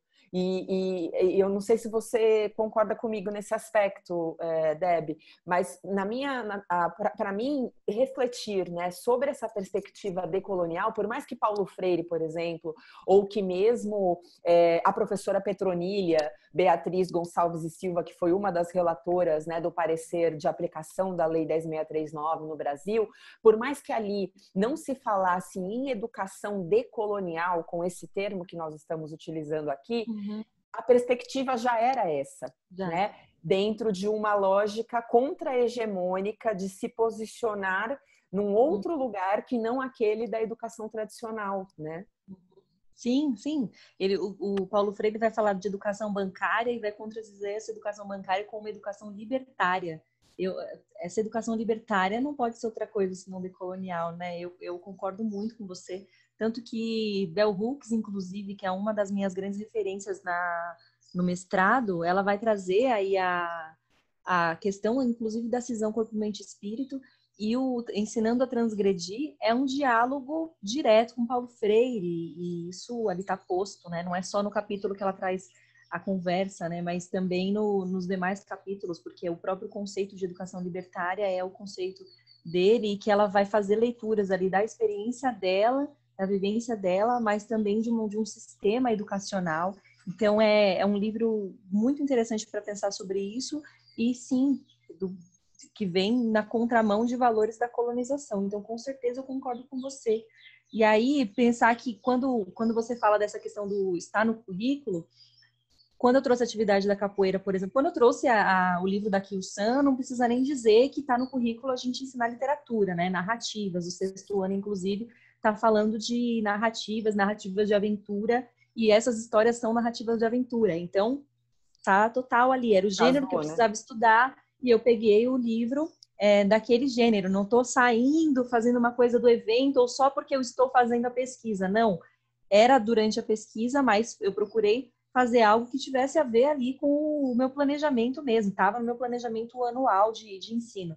E tanto a, essa parte da literatura, como também outra questão literária no sentido da poética da capoeiragem, né? Então eu chamo poética da capoeiragem porque eu trabalhei com eles a, a, a audição não foi por, por leitura, a gente ouviu as músicas do Tony Vargas antes do dia da roda de capoeira, nós nós escutamos, nós jogamos em sala os alunos que já sabiam jogar e os outros foram tentando também, e nós analisamos e conversamos sobre as letras de música do mestre Tony Vargas. E o mestre Tony Vargas, nas suas letras de música, ele vai trazer uma memória negra e ele vai, por exemplo, contradizer a história de que a princesa Isabel tenha sido a grande heroína do fim da escravidão. Então, essa música chamada Dona Isabel é uma das mais interessantes para é uma das que eu trabalhei com eles. Ela ela diz assim: Dona Isabel, que história é essa de ter feito a escra... de ter como é que é? De ter desfeito a escravidão, de ser princesa boazinha. E aí ele fala, é, a escravidão, não, a abolição. A abolição se fez com sangue que inundava esse país, que o negro uh, tirou na luta cansado de ser infeliz. Então ele vai trazer uma, uma, um protagonismo negro para a questão da escravidão que até então não era ensinado na escola. E aí você traz isso num poema, numa, numa ladainha, né, que é chamado, que é uma letra da capoeira do mestre Tony Vargas, e isso é poesia, né? E ao mesmo tempo a gente dançou isso, a gente jogou isso em sala, enfim. Então, realmente, completamente imbricado ali no, no currículo. A gente não precisa ficar fazendo eventos, achar que a gente está saindo do rolê. E aí eu vou linkar isso com uma pergunta que foi feita aqui a respeito do Monteiro Lobato, né? Uma pessoa perguntou, deixa eu ver aqui o nome. É, sim, sim. Eu acho que é importante a gente é, até ler a pergunta para quem nos acompanha pelo Facebook, né? É uma pergunta que tem que chegou aqui pelo bate-papo do Zoom, né? A Marina Moreno. Ela vai dizer que o Brasil tem como uma das referências de literatura infantil um autor notadamente racista. É, ela diz: já ouvi dizerem que este fato não apaga a genialidade de sua obra e que por isso é uma leitura que, apesar de problemática, ainda é indicada. E aí ela pergunta: como é possível substituir esses autores? Como professores e escolas podem se posicionar contra o direcionamento do Estado? E o autor é Monteiro Lobato. Uhum. Por favor, Dé. Em primeiro lugar, a gente precisa lutar para que esses, para que autores e autoras negros e negras que dizem o que a gente quer dizer, que trazem as mensagens que a gente quer que estejam na escola, realmente estejam no sistema e estejam no, nas nossas, uh, nos nossos campos de estudo, né? Nos, como é que é chamado? Como é que é? Vocês falaram? Numa lista de estudos, enfim. A gente precisa trabalhar para que eles estejam no currículo. Eu acho que isso é o primeiro, primeira questão, sabe? Não é a primeira questão não é necessariamente a gente trazer a, o ataque que deve ser feito, mas o ataque a esses autores e sua branquitude e o seu racismo que estão postos ali. Mas, em primeiro lugar, acho que a gente tem que trazer para a escola os textos negros, a literatura negra, a escrevivência, acho que tudo isso tem que estar tá ali. E quando tudo isso estiver ali, você consegue ter é, essas diversas vozes, elas inclusive podem se contrapor. Eu não sou contrária a gente trazer um texto que tem uma manifestação racista numa, na escola, desde que a gente traga problematizando. Então, como que o professor, a coordenação, como é que os educadores podem trabalhar com isso? Criticando trazendo as análises críticas, né? As devidas análises críticas sempre, sempre. Isso não só com Monteiro Lobato, isso com qualquer tipo de material que a gente tiver para trabalhar. E além disso, a gente tem que trazer essas outras vozes, né? É, a crítica literária também é um gênero, então a gente pode trazer o Monteiro Lobato, trazer uma crítica literária a ele e fazer essa discussão com os alunos. A gente não pode menosprezar nossos alunos, eles não vão engolir a gente não vai tentar é, impor goela abaixo e eles vão engolir tudo, não vão. a gente também não está doutrinando, a gente está trazendo as vozes. E a gente traz essas vozes, inclusive as vozes que, que criticam umas às outras, para que eles se formem fazendo as próprias críticas, né? construindo as próprias narrativas e tendo contato também com narrativas de pessoas como eles. Eu acho que isso é impressionante, assim, é o primeiro lugar para a gente, é a primeira condição para avançar nesse sentido, sabe? Essa contra, é ter essas outras vozes também ali e ter a, e fazer as análises críticas junto com as crianças sem menosprezá-las é, desse ponto de vista. Perfeito, perfeito. A gente já recebe aqui, né, ou, é, mais, mais perguntas, inclusive. Eu só gostaria de, de dizer, né, a Marina Moreno, para quem você acabou de responder, se caso ela queira complementar, é, como ela está aqui conosco no Zoom, é, é, super possível né, abrir a câmera, abrir o microfone para poder entrar no diálogo. Então, Marina, por mais que a gente já tenha né, debatido, já tenha trazido aqui à tona a sua questão, por favor, se você tiver vontade de participar, só sinaliza aqui para a gente no chat e a gente é, te dá, te garante esse espaço. E já também pergunto aqui é, para Arsênio Matavelli e Fátima Freitas e Marina Pereira, que também já colocam aqui seu, suas questões no chat, se alguém de vocês também gostaria de, de entrar ao vivo aqui conosco. Uh, eu tenho também, estou aqui monitorando, acho que imagino que o Feren também, o nosso chat do, do Facebook, né? E acho que é legal comentar que nós temos já muito, muita gente ali que nos acompanha, que tem elogiado, né? Excelente papo, diz o Gerson Moreno. A, a Mel Matzini fala que é uma verdadeira aula de história, Débora, que você nos, nos, nos deu hoje, né? E é, e é, e é fato. É, Pelém Titos diz que os fatos revelam que havia um plano global para eliminar a raça, a, raça, né, a minha raça, como ele coloca aqui. Há relatos segundo os quais dizem que na Argentina entre outros cantos do mundo, muitos negros foram mortos em massa, né? Não sei se você quer comentar sobre isso, uh, Débora. E Carmen Taroco diz que está aqui representando o movimento negro unificado do Brasil, que é um, um, movimento importantíssimo, né, da militância negra no, no nosso país. Uh, enfim, acho que ainda não temos perguntas. Não sei se Felen identificou alguma pergunta no Facebook. Sim. Ah, do Facebook, desculpa. É, do Facebook, do Facebook. Acho que ainda não, mas caso alguém tiver interesse em, em mandar perguntas para nós, a gente está é, nesse monitoramento também. Um, a, a, Marina Moreno diz que está sem câmera, mas que gostaria de pontuar uma questão. É, essa pessoa que fez o, o comentário aqui sobre o Monteiro Lobato. Então, Marina, por favor, se você quiser liberar o seu microfone, é, a gente te ouve. Olá, é, eu não sou da área de educação, tá? É, não sou da área de educação, mas eu participo, junto com algumas amigas, de um grupo de estudos é, antirracista, né? Como é, nós é, desenvolvermos, né, essa, essa questão.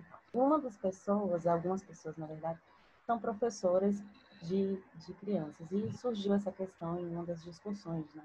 Sobre o currículo e sobre essa, esse, o autor Monteiro Lobato. É, e assim, elas têm essa postura que a Débora falou, né, de estar na sala de aula e trazer o texto, mas trazendo dentro de uma, de uma trazendo como uma forma crítica. Mas ao mesmo tempo, na conversa, nós percebemos que isso parte do educador. E não existe, por exemplo, a indicação no currículo de que essa leitura, ou esse livro, ou essas obras, sejam discutidas a partir desse ponto crítico. Então, isso parte sempre da iniciativa do educador. E nós temos uma educação racista no Brasil. Né?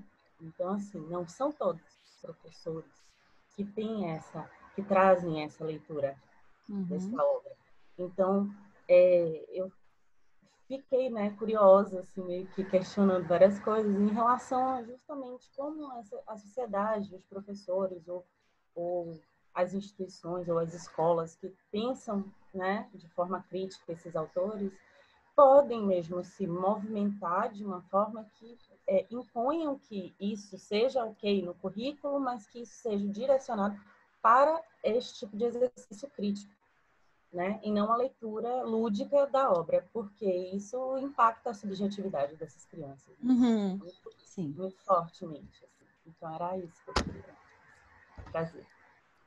Tá, Marina, quando você traz essa questão da, do fato de que não está posto dessa forma no currículo e fica a depender dos professores, é tudo a ver com o que eu falei sobre a questão das grades, né? O sistema uhum. ele está composto por essas grades. Então, essa grade curricular, ela, ela muitas vezes é posta fechada. A gente tem vários sistemas de ensino. A rede municipal de ensino trabalha com um tipo que eu acho que é um pouco mais aberto, vamos dizer assim. Mas o MEC, por exemplo, tem tentado deixar a coisa cada vez mais estreita num sentido de, de inclusive, beneficiar a, o mercado editorial de livros didáticos, que teriam ali mais facilidade para produzir livro didático se o ensino for todo é, uniformizado, né? Se ele for uniformizado, vai ser muito mais fácil para o mercado editorial compor os livros, fazer os livros todos iguais para o Brasil inteiro. Então, respondendo a esse anseio do mercado editorial, o MEC tenta sim deixar a coisa mais rígida, mas nas regiões a gente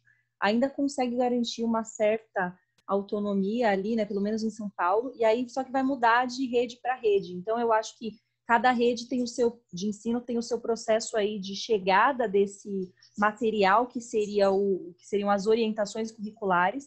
É, em São Paulo a gente tem orientações curriculares, então não é obrigatório.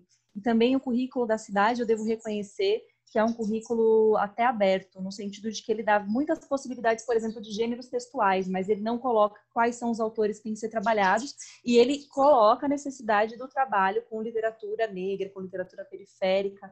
Então, eu entendo que ainda corresponde, que já se comece a corresponder. Mas para uma rede em que o currículo não corresponde, a gente precisaria analisar onde romper essa grade, sabe? Onde que a gente consegue quebrá-la.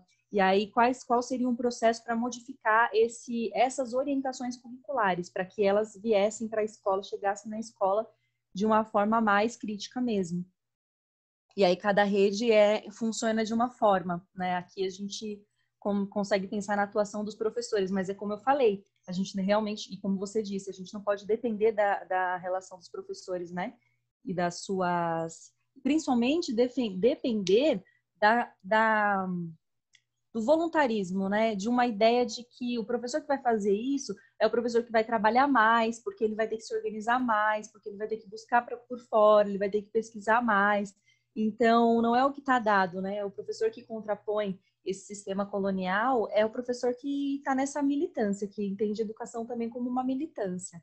E isso não, não são todos, com certeza. Então, até que a gente tenha um currículo que seja de fato equalizado, a gente vai precisar contar com esses profissionais aí. Mas o ideal é a gente trabalhar para romper de forma sistêmica essas grades do sistema e não só é, de cada professor, realmente, como eu vinha trazendo.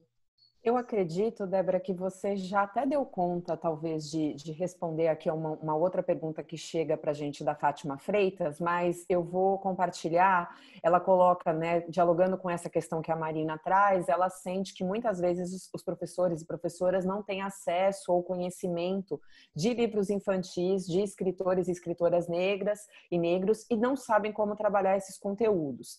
Ela diz: Eu sei que estamos aqui porque acreditamos na educação e desejamos mudar isso, mas ainda em 2020 ouço relatos de professoras que abordam o livro Menina Bonita do Laço de Fita, que é um livro bastante clássico no Brasil e pedem para as crianças levarem, por exemplo, né, palha de aço para fazer a boneca da protagonista do livro, né, o cabelo da boneca do, da protagonista do livro, ignorando que essa é uma prática extremamente racista que influencia diretamente na construção da subjetividade dessas crianças negras e não negras. E aí ela pergunta como fazer.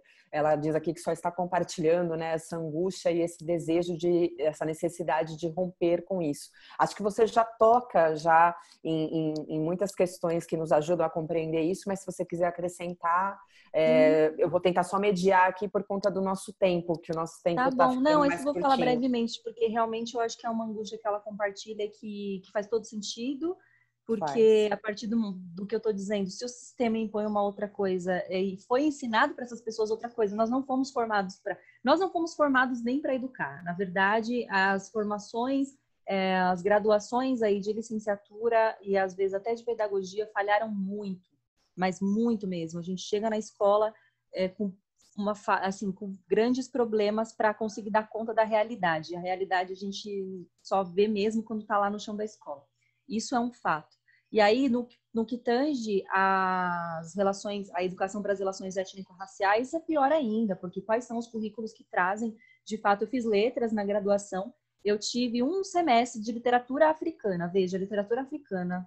A África né, é um país enorme, um continente enorme, e a gente tem aí é, uma disciplina que une como se fosse um, um país e ainda por cima com, sei lá, teve três, quatro textos. Foi incrível mas ela só existiu porque uma professora de literatura inglesa, que era de fato presente no meu currículo, eu tive vários semestres de literatura inglesa, e uma dessas professoras de literatura inglesa, ela pesquisava literatura a, africana de língua inglesa, e aí ela trouxe para o currículo, ela deu um jeito de colocar ali. Então, assim, a gente não tem na nossa formação. Se não teve na formação, o que, que a gente vai fazer? Né? Agora, como é que a gente, a gente reproduz só? A gente trabalha só reproduzindo? Não, a gente tem que pesquisar. Então, é dar formação de professores, é o único caminho. É formação, formação, formação. E é chamar a gente que já está nessa há mais tempo, porque tem muita gente do movimento nessa há muito tempo para falar na escola, para trazer, para fazer formação de professores, é, são os textos mesmo. Nós temos momentos de formação na rede municipal, a gente tem um momento chamado GEIF, que a gente que estuda. Então, tem que trazer esses autores para o estudo, e é só esse o caminho. O único caminho é a gente estudar para dar conta de, de fazer de, uma, de outra forma. Perfeito, perfeito. Um... Desculpa, pode falar, Eduardo. Sim, queria só aproveitar a leva da, da, da é Maria Monteiro, não? A senhora que colocou uma questão. Marina, essa... Marina, Marina Moreno. Exatamente, Moreno, desculpa, desculpa, Débora. É, é uma questão muito séria, porque imagina um país como Moçambique, não é? Com uma grave, digamos assim, com um grande déficit, não é?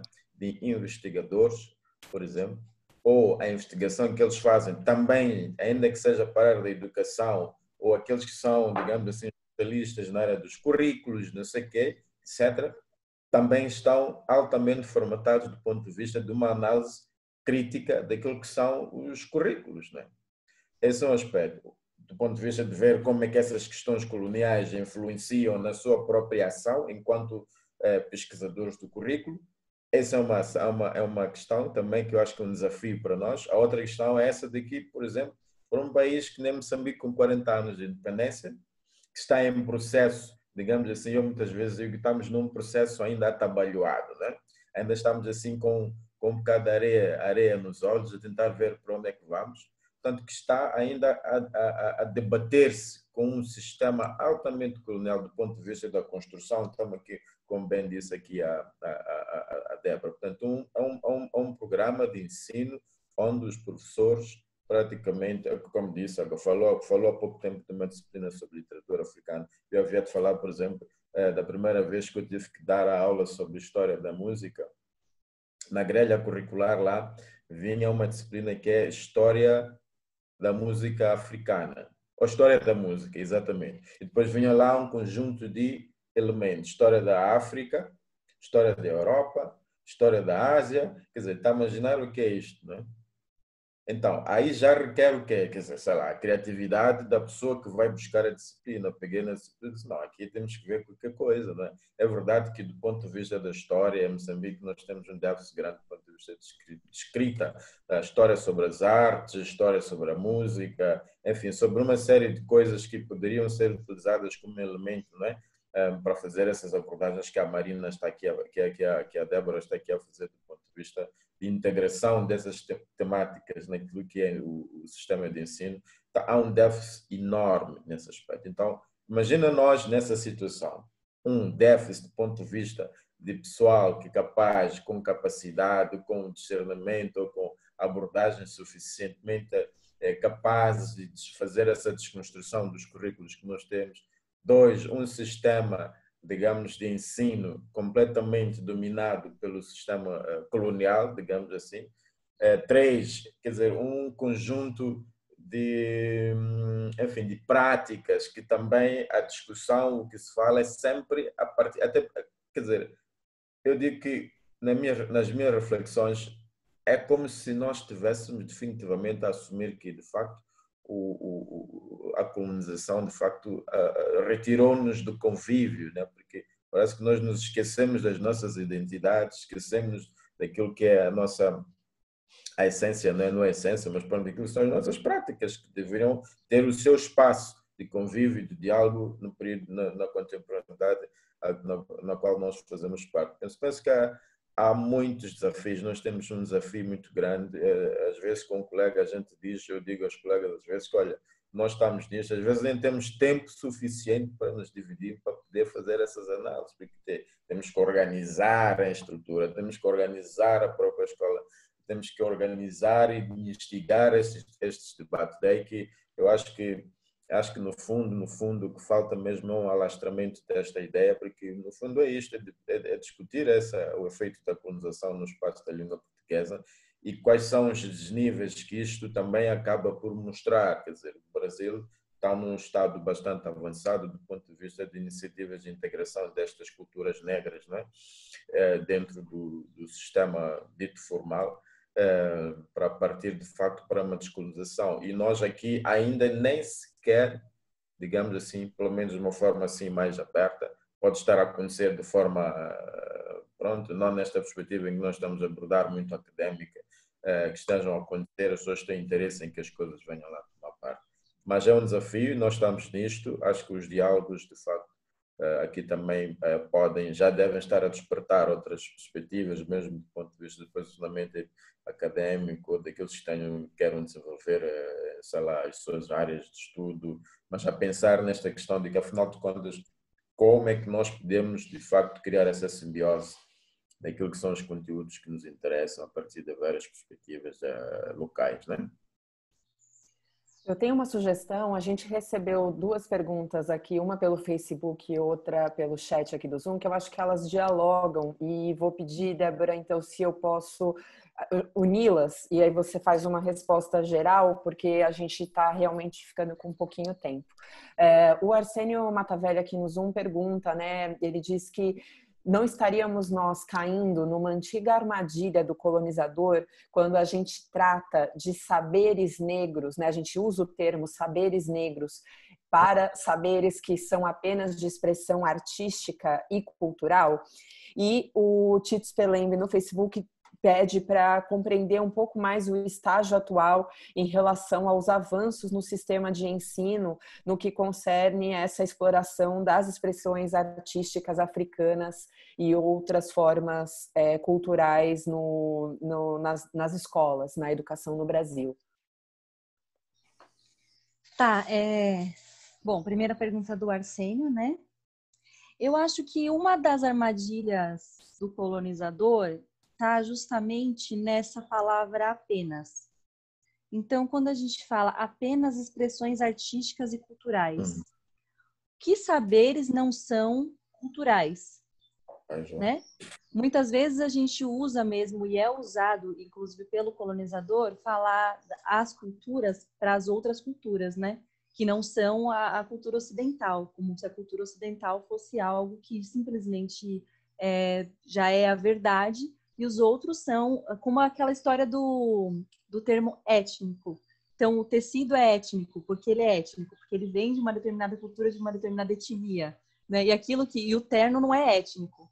Não tem a ver com uma cultura e com uma etnia, sabe? Então, saberes culturais, todos os saberes são culturais, todos os saberes têm relação com uma cultura, com um determinado local, um determinado povo.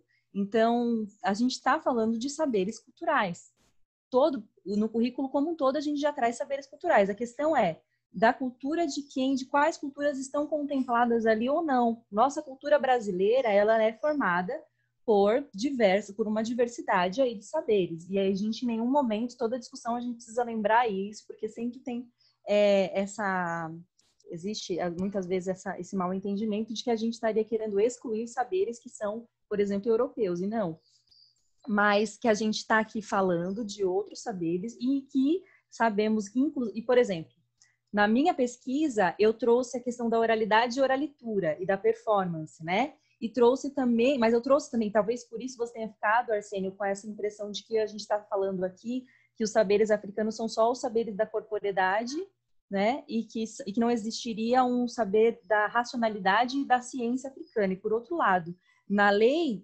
10.639, o que a gente brigou para existir é a obrigação de, do ensino de história, por exemplo, inclusive de ciência, de cientistas, de filosofia. Então, quando a gente traz a questão da, da, cisão, da não cisão corpo, mente e espírito, a gente está falando de princípio filosófico. Os valores civilizatórios também são princípios filosóficos que a gente entende que também deveriam reger o nosso currículo né, fazer parte de, deles. Então, são princípios filosóficos, são outros cientistas que não aparecem no nosso currículo, são outras racionalidades, sim, racionalidades, só que outras racionalidades, e não necessariamente um racionalismo no sentido de uma hipervalorização dessa racionalidade, ou melhor, de uma hierarquização é, dentro do que é o saber racional e o que é um saber de uma performance, por exemplo. Então, quando a gente fala que a a escola é o lugar, é por excelência o lugar do conhecimento científico, é sim, mas também do conhecimento artístico, também de diversos outros conhecimentos. Então, a gente trazer essa não hierarquização é que está em pauta, e não de a gente negar que exista uma racionalidade é, em África, pelo contrário, tá? Então, acho que isso, isso e isso se concretiza na minha pesquisa mesmo quando eu trago a questão da literatura. Você quer um, uma expressão artística, cultural mais elitista e eurocêntrica do que a literatura, naquele momento, quando começa a ter a literatura negra, você tem ali a, a Maria Firmino dos Reis como a primeira romancista mulher e já é uma mulher negra também, primeira pessoa negra a publicar um romance no Brasil. E a, e a literatura é extremamente elitizada. Nem mesmo os senhores de escravos todos sabiam ler e escrever. Os próprios, eles próprios não sabiam ler e escrever, todos eles. E aí vai uma, uma negra mestiça, né? É, e, e publica um livro. Então, isso é extremamente revolucionário. E isso tem a ver, como eu tinha dito também, com ah, os espaços de poder. Então, você se apropria de uma linguagem, é, que é essa linguagem escrita, e você desconstrói por dentro. Isso também é decolonial né? Ainda que a gente esteja trabalhando, a gente está trabalhando a literatura e você está trabalhando uma subversão e outras e criando ramificações também dentro desses conhecimentos. Então você tem a escrevivência como um conceito novo dentro do dentro da ideia de literatura, dentro dos estudos de literatura. É um outro conceito que vem a partir de um movimento literário afro-brasileiro, tá? Então, que com assim, então só para só para a gente limpar essa questão que a gente está falando aqui de uma não hierarquização e não de uma inversão, tá bom? Em relação à corporeidade, racionalidade e etc. E eu acho que isso casa muito com a pesquisa. Ah, tá. A pergunta que a Paula trouxe lá do Facebook. Esqueci o nome da pessoa, Paula. O Tito Spelembe. Isso, tá. Tito Spelem então perguntou sobre os avanços da os avanços desse ensino, né? No sentido é, da os, os avanços que a gente já, já teve, né, na educação brasileira em relação às expressões artísticas como parte desse currículo. Tá, então, poucos, nós tivemos poucos. Primeiro, porque se a gente for pensar nessa grade curricular brasileira, a gente tem que pensar que a arte o lugar da arte é duas aulas por semana na maioria das, das séries, tá? Na verdade, acho que todas as séries. Desde, desde prime o primeiro ano até o nono ano, são duas aulas por semana. Nessas duas aulas por semana, por exemplo, o professor tem que dar conta das várias linguagens artísticas. Veja quantas linguagens artísticas existem. Então, é a música, é a, é a pintura, é o desenho, é a dança, é o teatro. Como é que você dá conta disso? É isso pensando nas linguagens. E aí, para cada uma dessas linguagens, ainda precisa, a gente ainda precisa alcançar essa, esse equilíbrio de trazer performers, artistas e, uh, e autores e autoras que sejam do, das várias culturas que estão colocadas no nosso país. Então, a gente está ainda patinando nesse sentido. Eu diria que, na, em relação ao currículo de artes, menos do que de língua portuguesa, por exemplo, quando a gente já tem um grande avanço, pelo menos na, na cidade de São Paulo, com relação à literatura negra, né? Que é como é que a gente avança com literatura? Comprando os livros. Então, para ver como é a questão do sistema, né? A rede municipal precisa comprar os livros para os livros chegarem na escola, a rede estadual precisa comprar os livros para eles chegarem na escola. E é para ter em quantidade, para as crianças olharem, se verem ali. Mas na rede municipal nós tivemos esse avanço, principalmente com o trabalho do Núcleo de Relações Étnico-Raciais, que esteve presente na SNE de, de 2013 a 2016.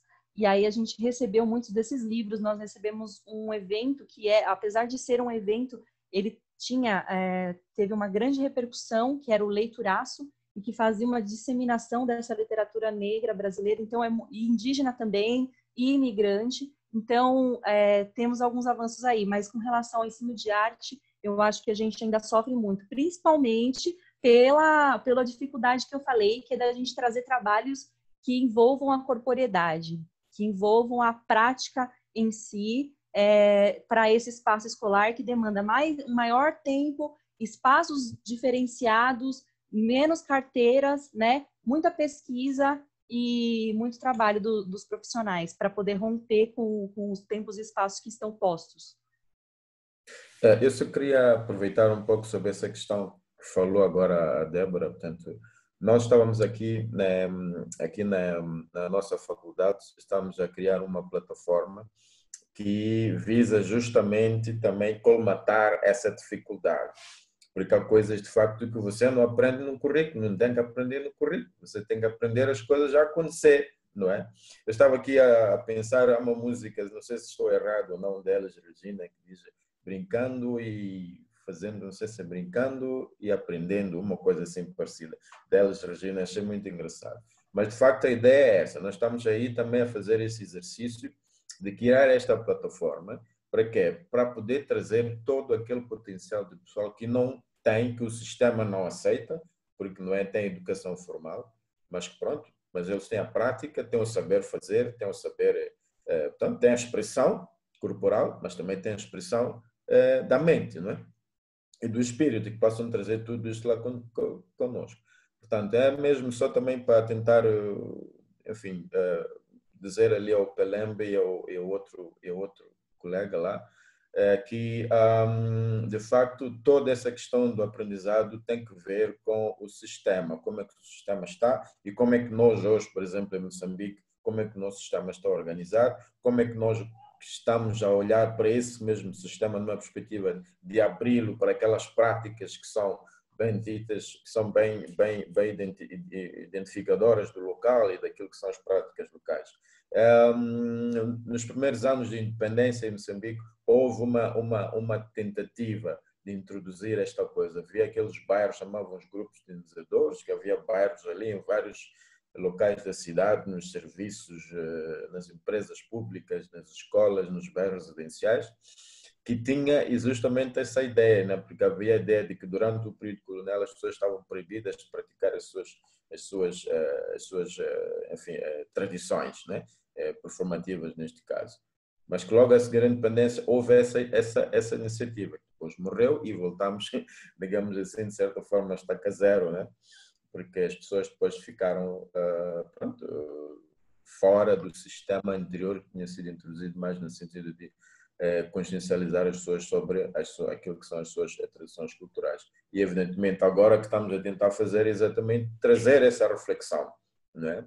as pessoas eh, poderem despertar eh, para a questão da investigação, a questão da, de uma investigação mais articulada com a, com a componente, digamos assim, que o sistema formal considera não, não científico, né? mas pronto, essa questão que junta a mente, o espírito e o corpo, para poder, de facto, criar essa descolonização, porque de facto é isto, né?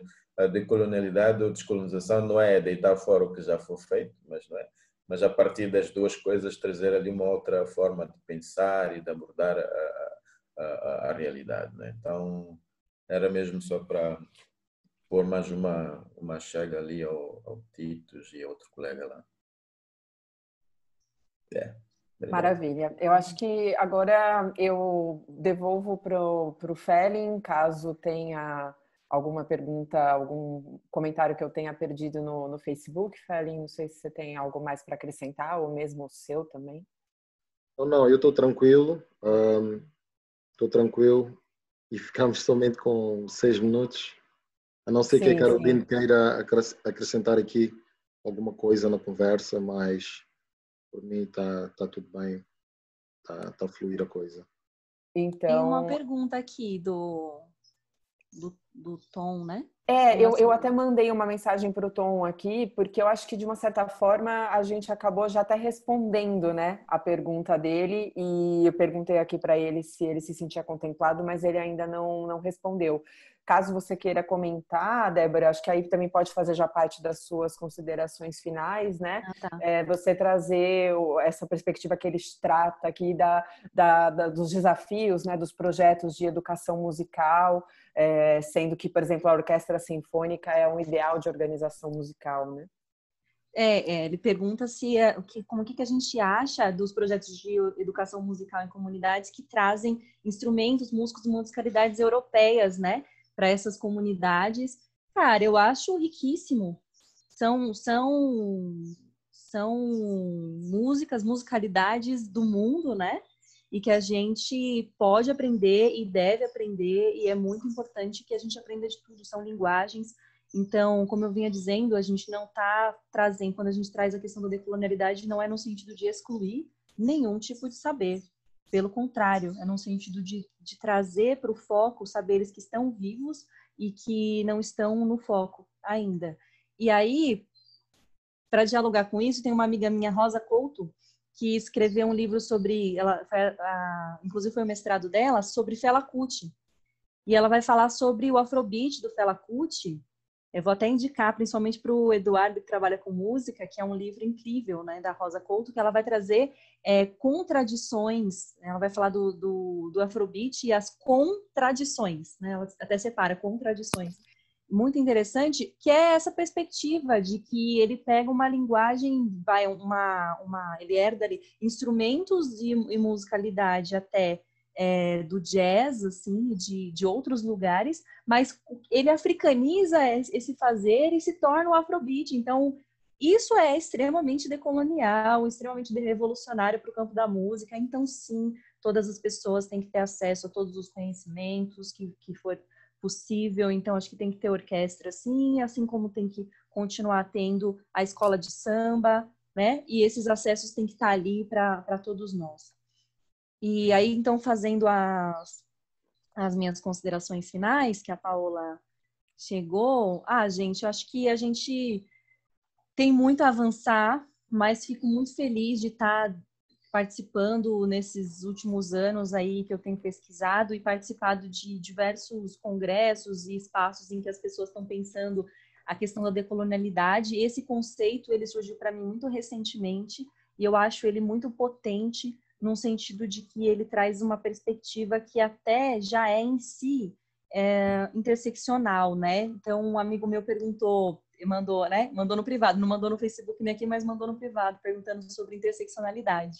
E é um dos meus mestres em educação, o Dalmo. Obrigada, Dalmo, por estar assistindo. Então, ele falou, ah, você vai falar de interseccionalidade?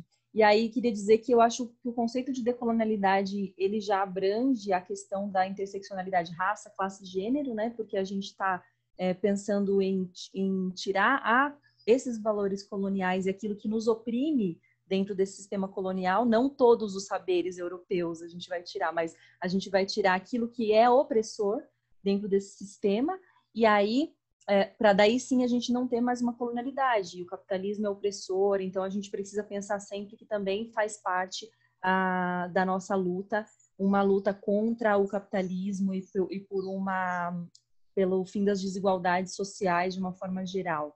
Né? Acho isso muito importante. Contra a necropolítica, foi citado aí os genocídios diversos da população negra. Nós vivemos no Brasil um genocídio uh, também da população negra e a gente não pode falar de saberes de uma forma afastada do, dos corpos das pessoas. Por isso que eu falo corpos e seus saberes no chão da escola, né? Até porque quando a gente faz isso, vira a ideia da apropriação, que é ganhar dinheiro com o turista vindo consumir uma cultura que a pessoa que produz a cultura não é valorizada. Então, a gente não pode deixar de relacionar essas coisas, são pessoas, é um povo e, e, e é uma cultura que tem saberes, saberes racionais, saberes de corpo. E aí acho que foi, foi uma discussão riquíssima, eu aprendi pra caramba. E eu fico muito feliz de estar aqui. Agradeço novamente o convite. Muito obrigada, Paola, para educação e o Centro Cultural de Moçambique. Bom, a gente que agradece, né? É, eu acho que também quero agradecer só, a gente já está aqui chegando nos momentos finais. Agradeço a sua participação, Débora, a participação de todo mundo que nos acompanhou até agora. É, como você citou, né, a Afroeducação tem uma campanha que chama hashtag Tirar a Lei do Papel, e eu acho que tem muito a ver com tudo isso que a gente conversou aqui. É, e esse mês no Brasil a gente celebra o Julho das Pretas, né? É um mês em que reúne aí uma série de atividades, discussões, atividades artísticas, culturais e também acadêmicas em torno da importância, né, e do protagonismo das mulheres negras é, no nosso país.